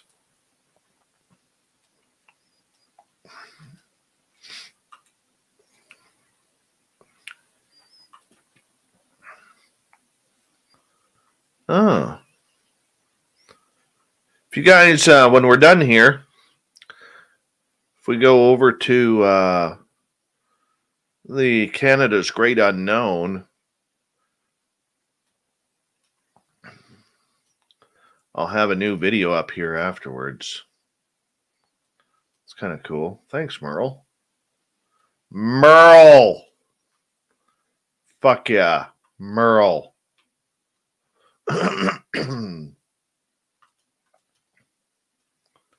Same as SR2. I gotta hurry because I don't actually want to do this.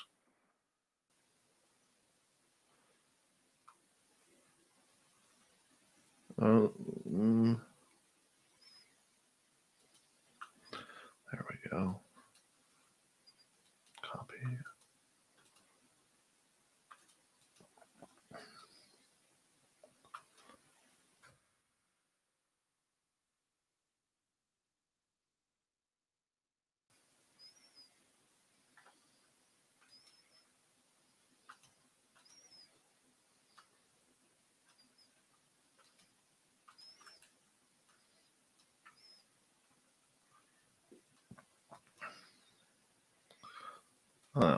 Anybody grab that troll yet? Hi, Body Tech.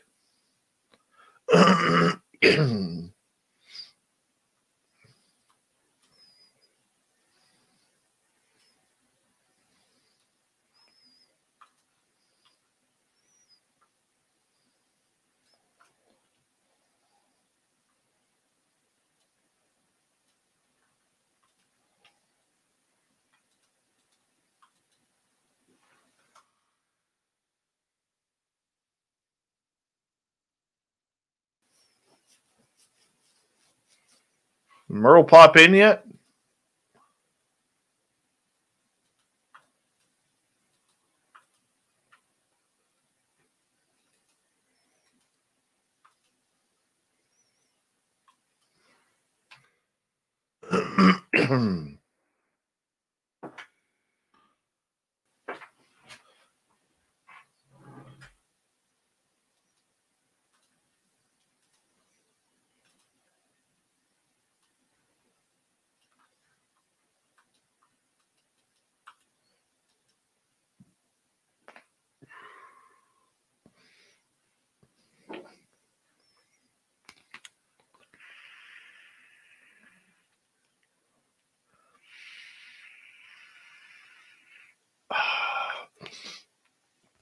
That's better. Now I can breathe. there we go. Cut. Cut.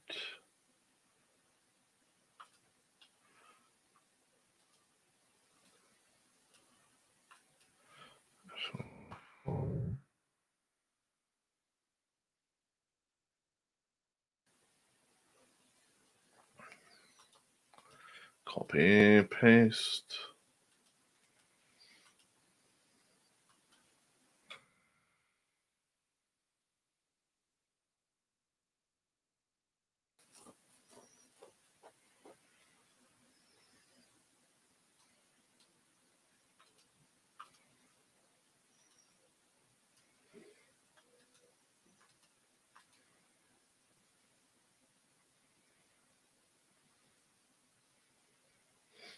Ah, hey Ollie, how you doing?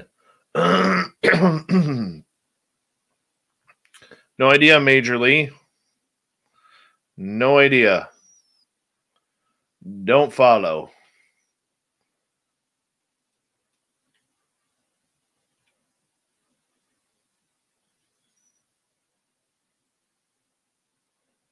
It's got to be somewhere around here in the end. There it is.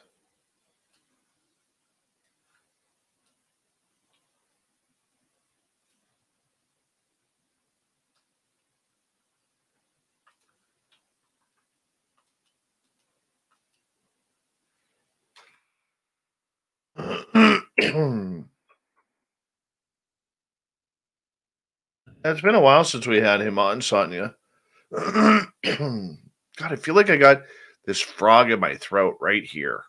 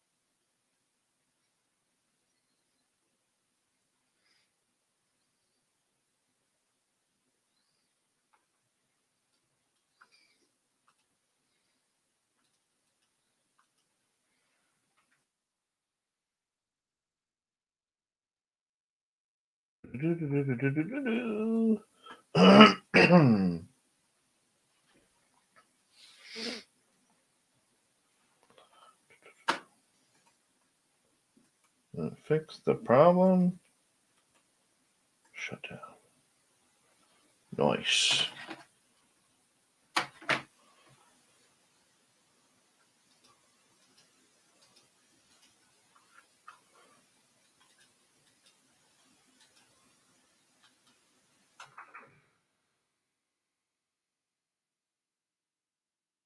All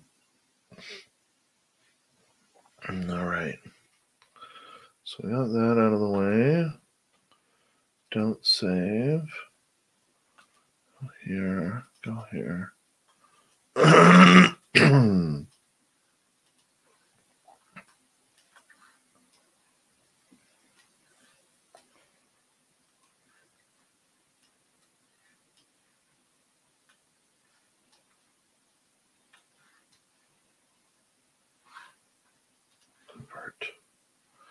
Let's go over to the other channel. And go to YouTube. Video. All right.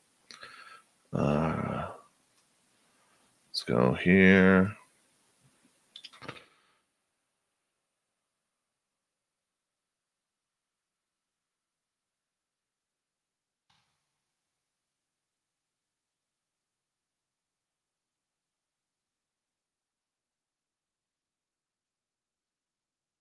This one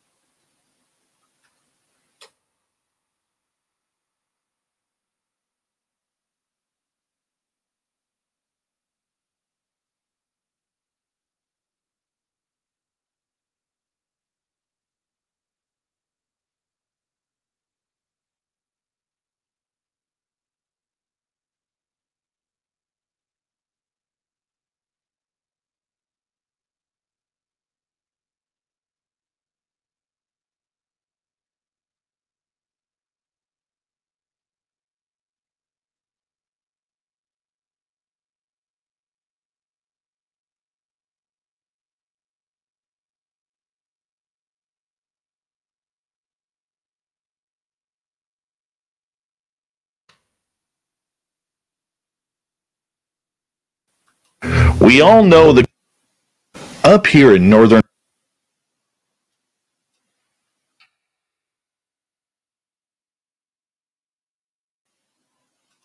I'd never the courage to easy Canada's great unknown.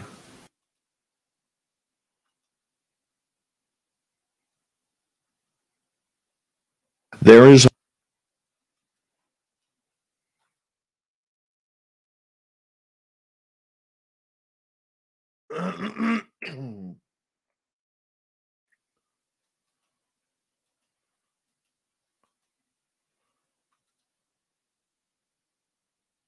My name is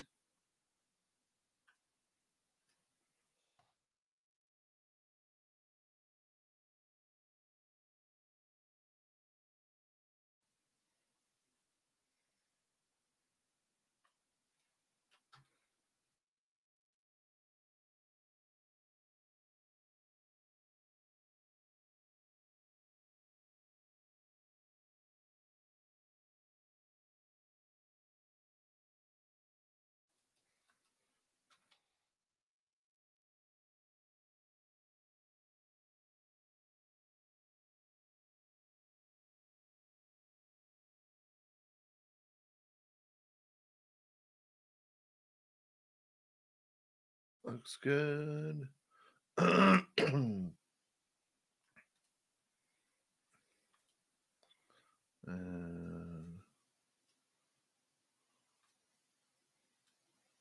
there, show more. hold on.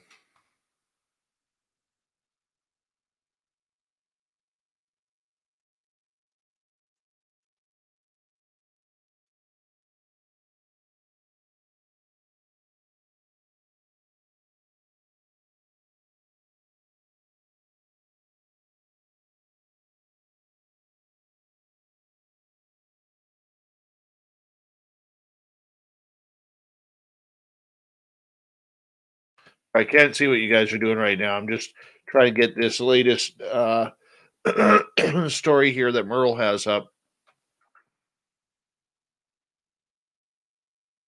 That way, you guys have something to listen to when I go off air at Canada's Great Unknown. Bear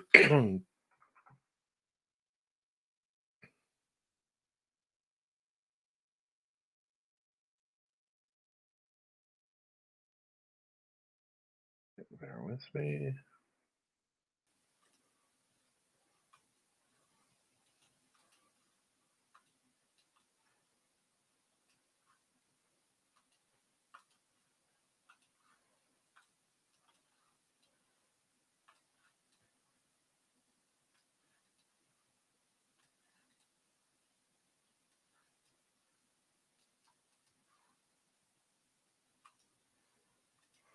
Get this off to the radio stations.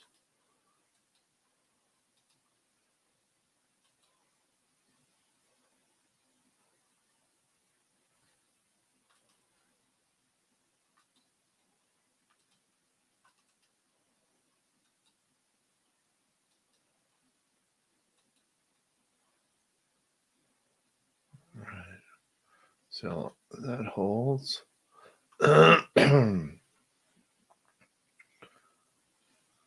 Oh, Fab, thank you, buddy. I always love your fantastic foreboding messages. That's always nice.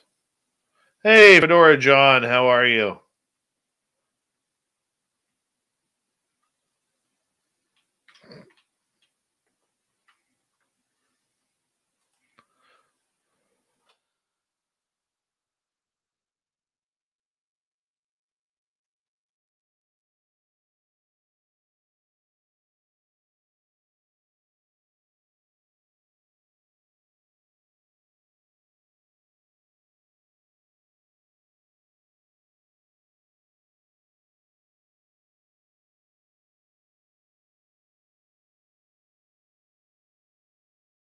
Mm-hmm.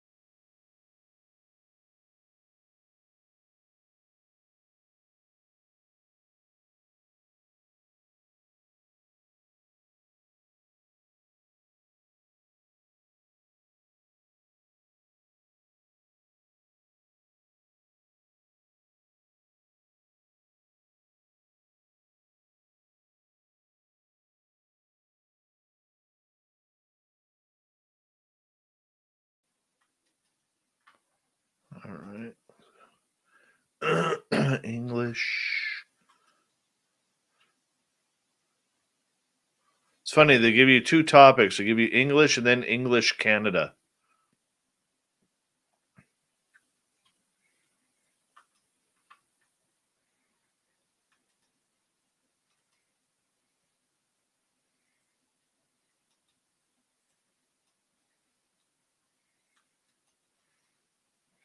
All right, let's launch this one.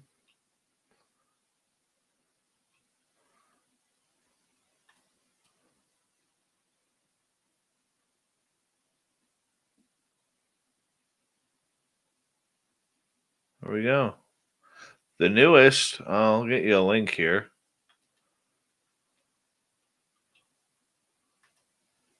that one.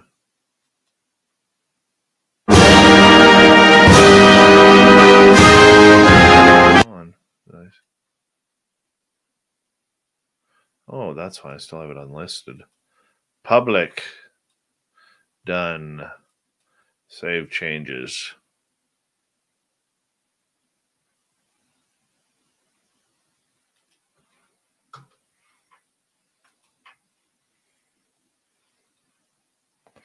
There we go.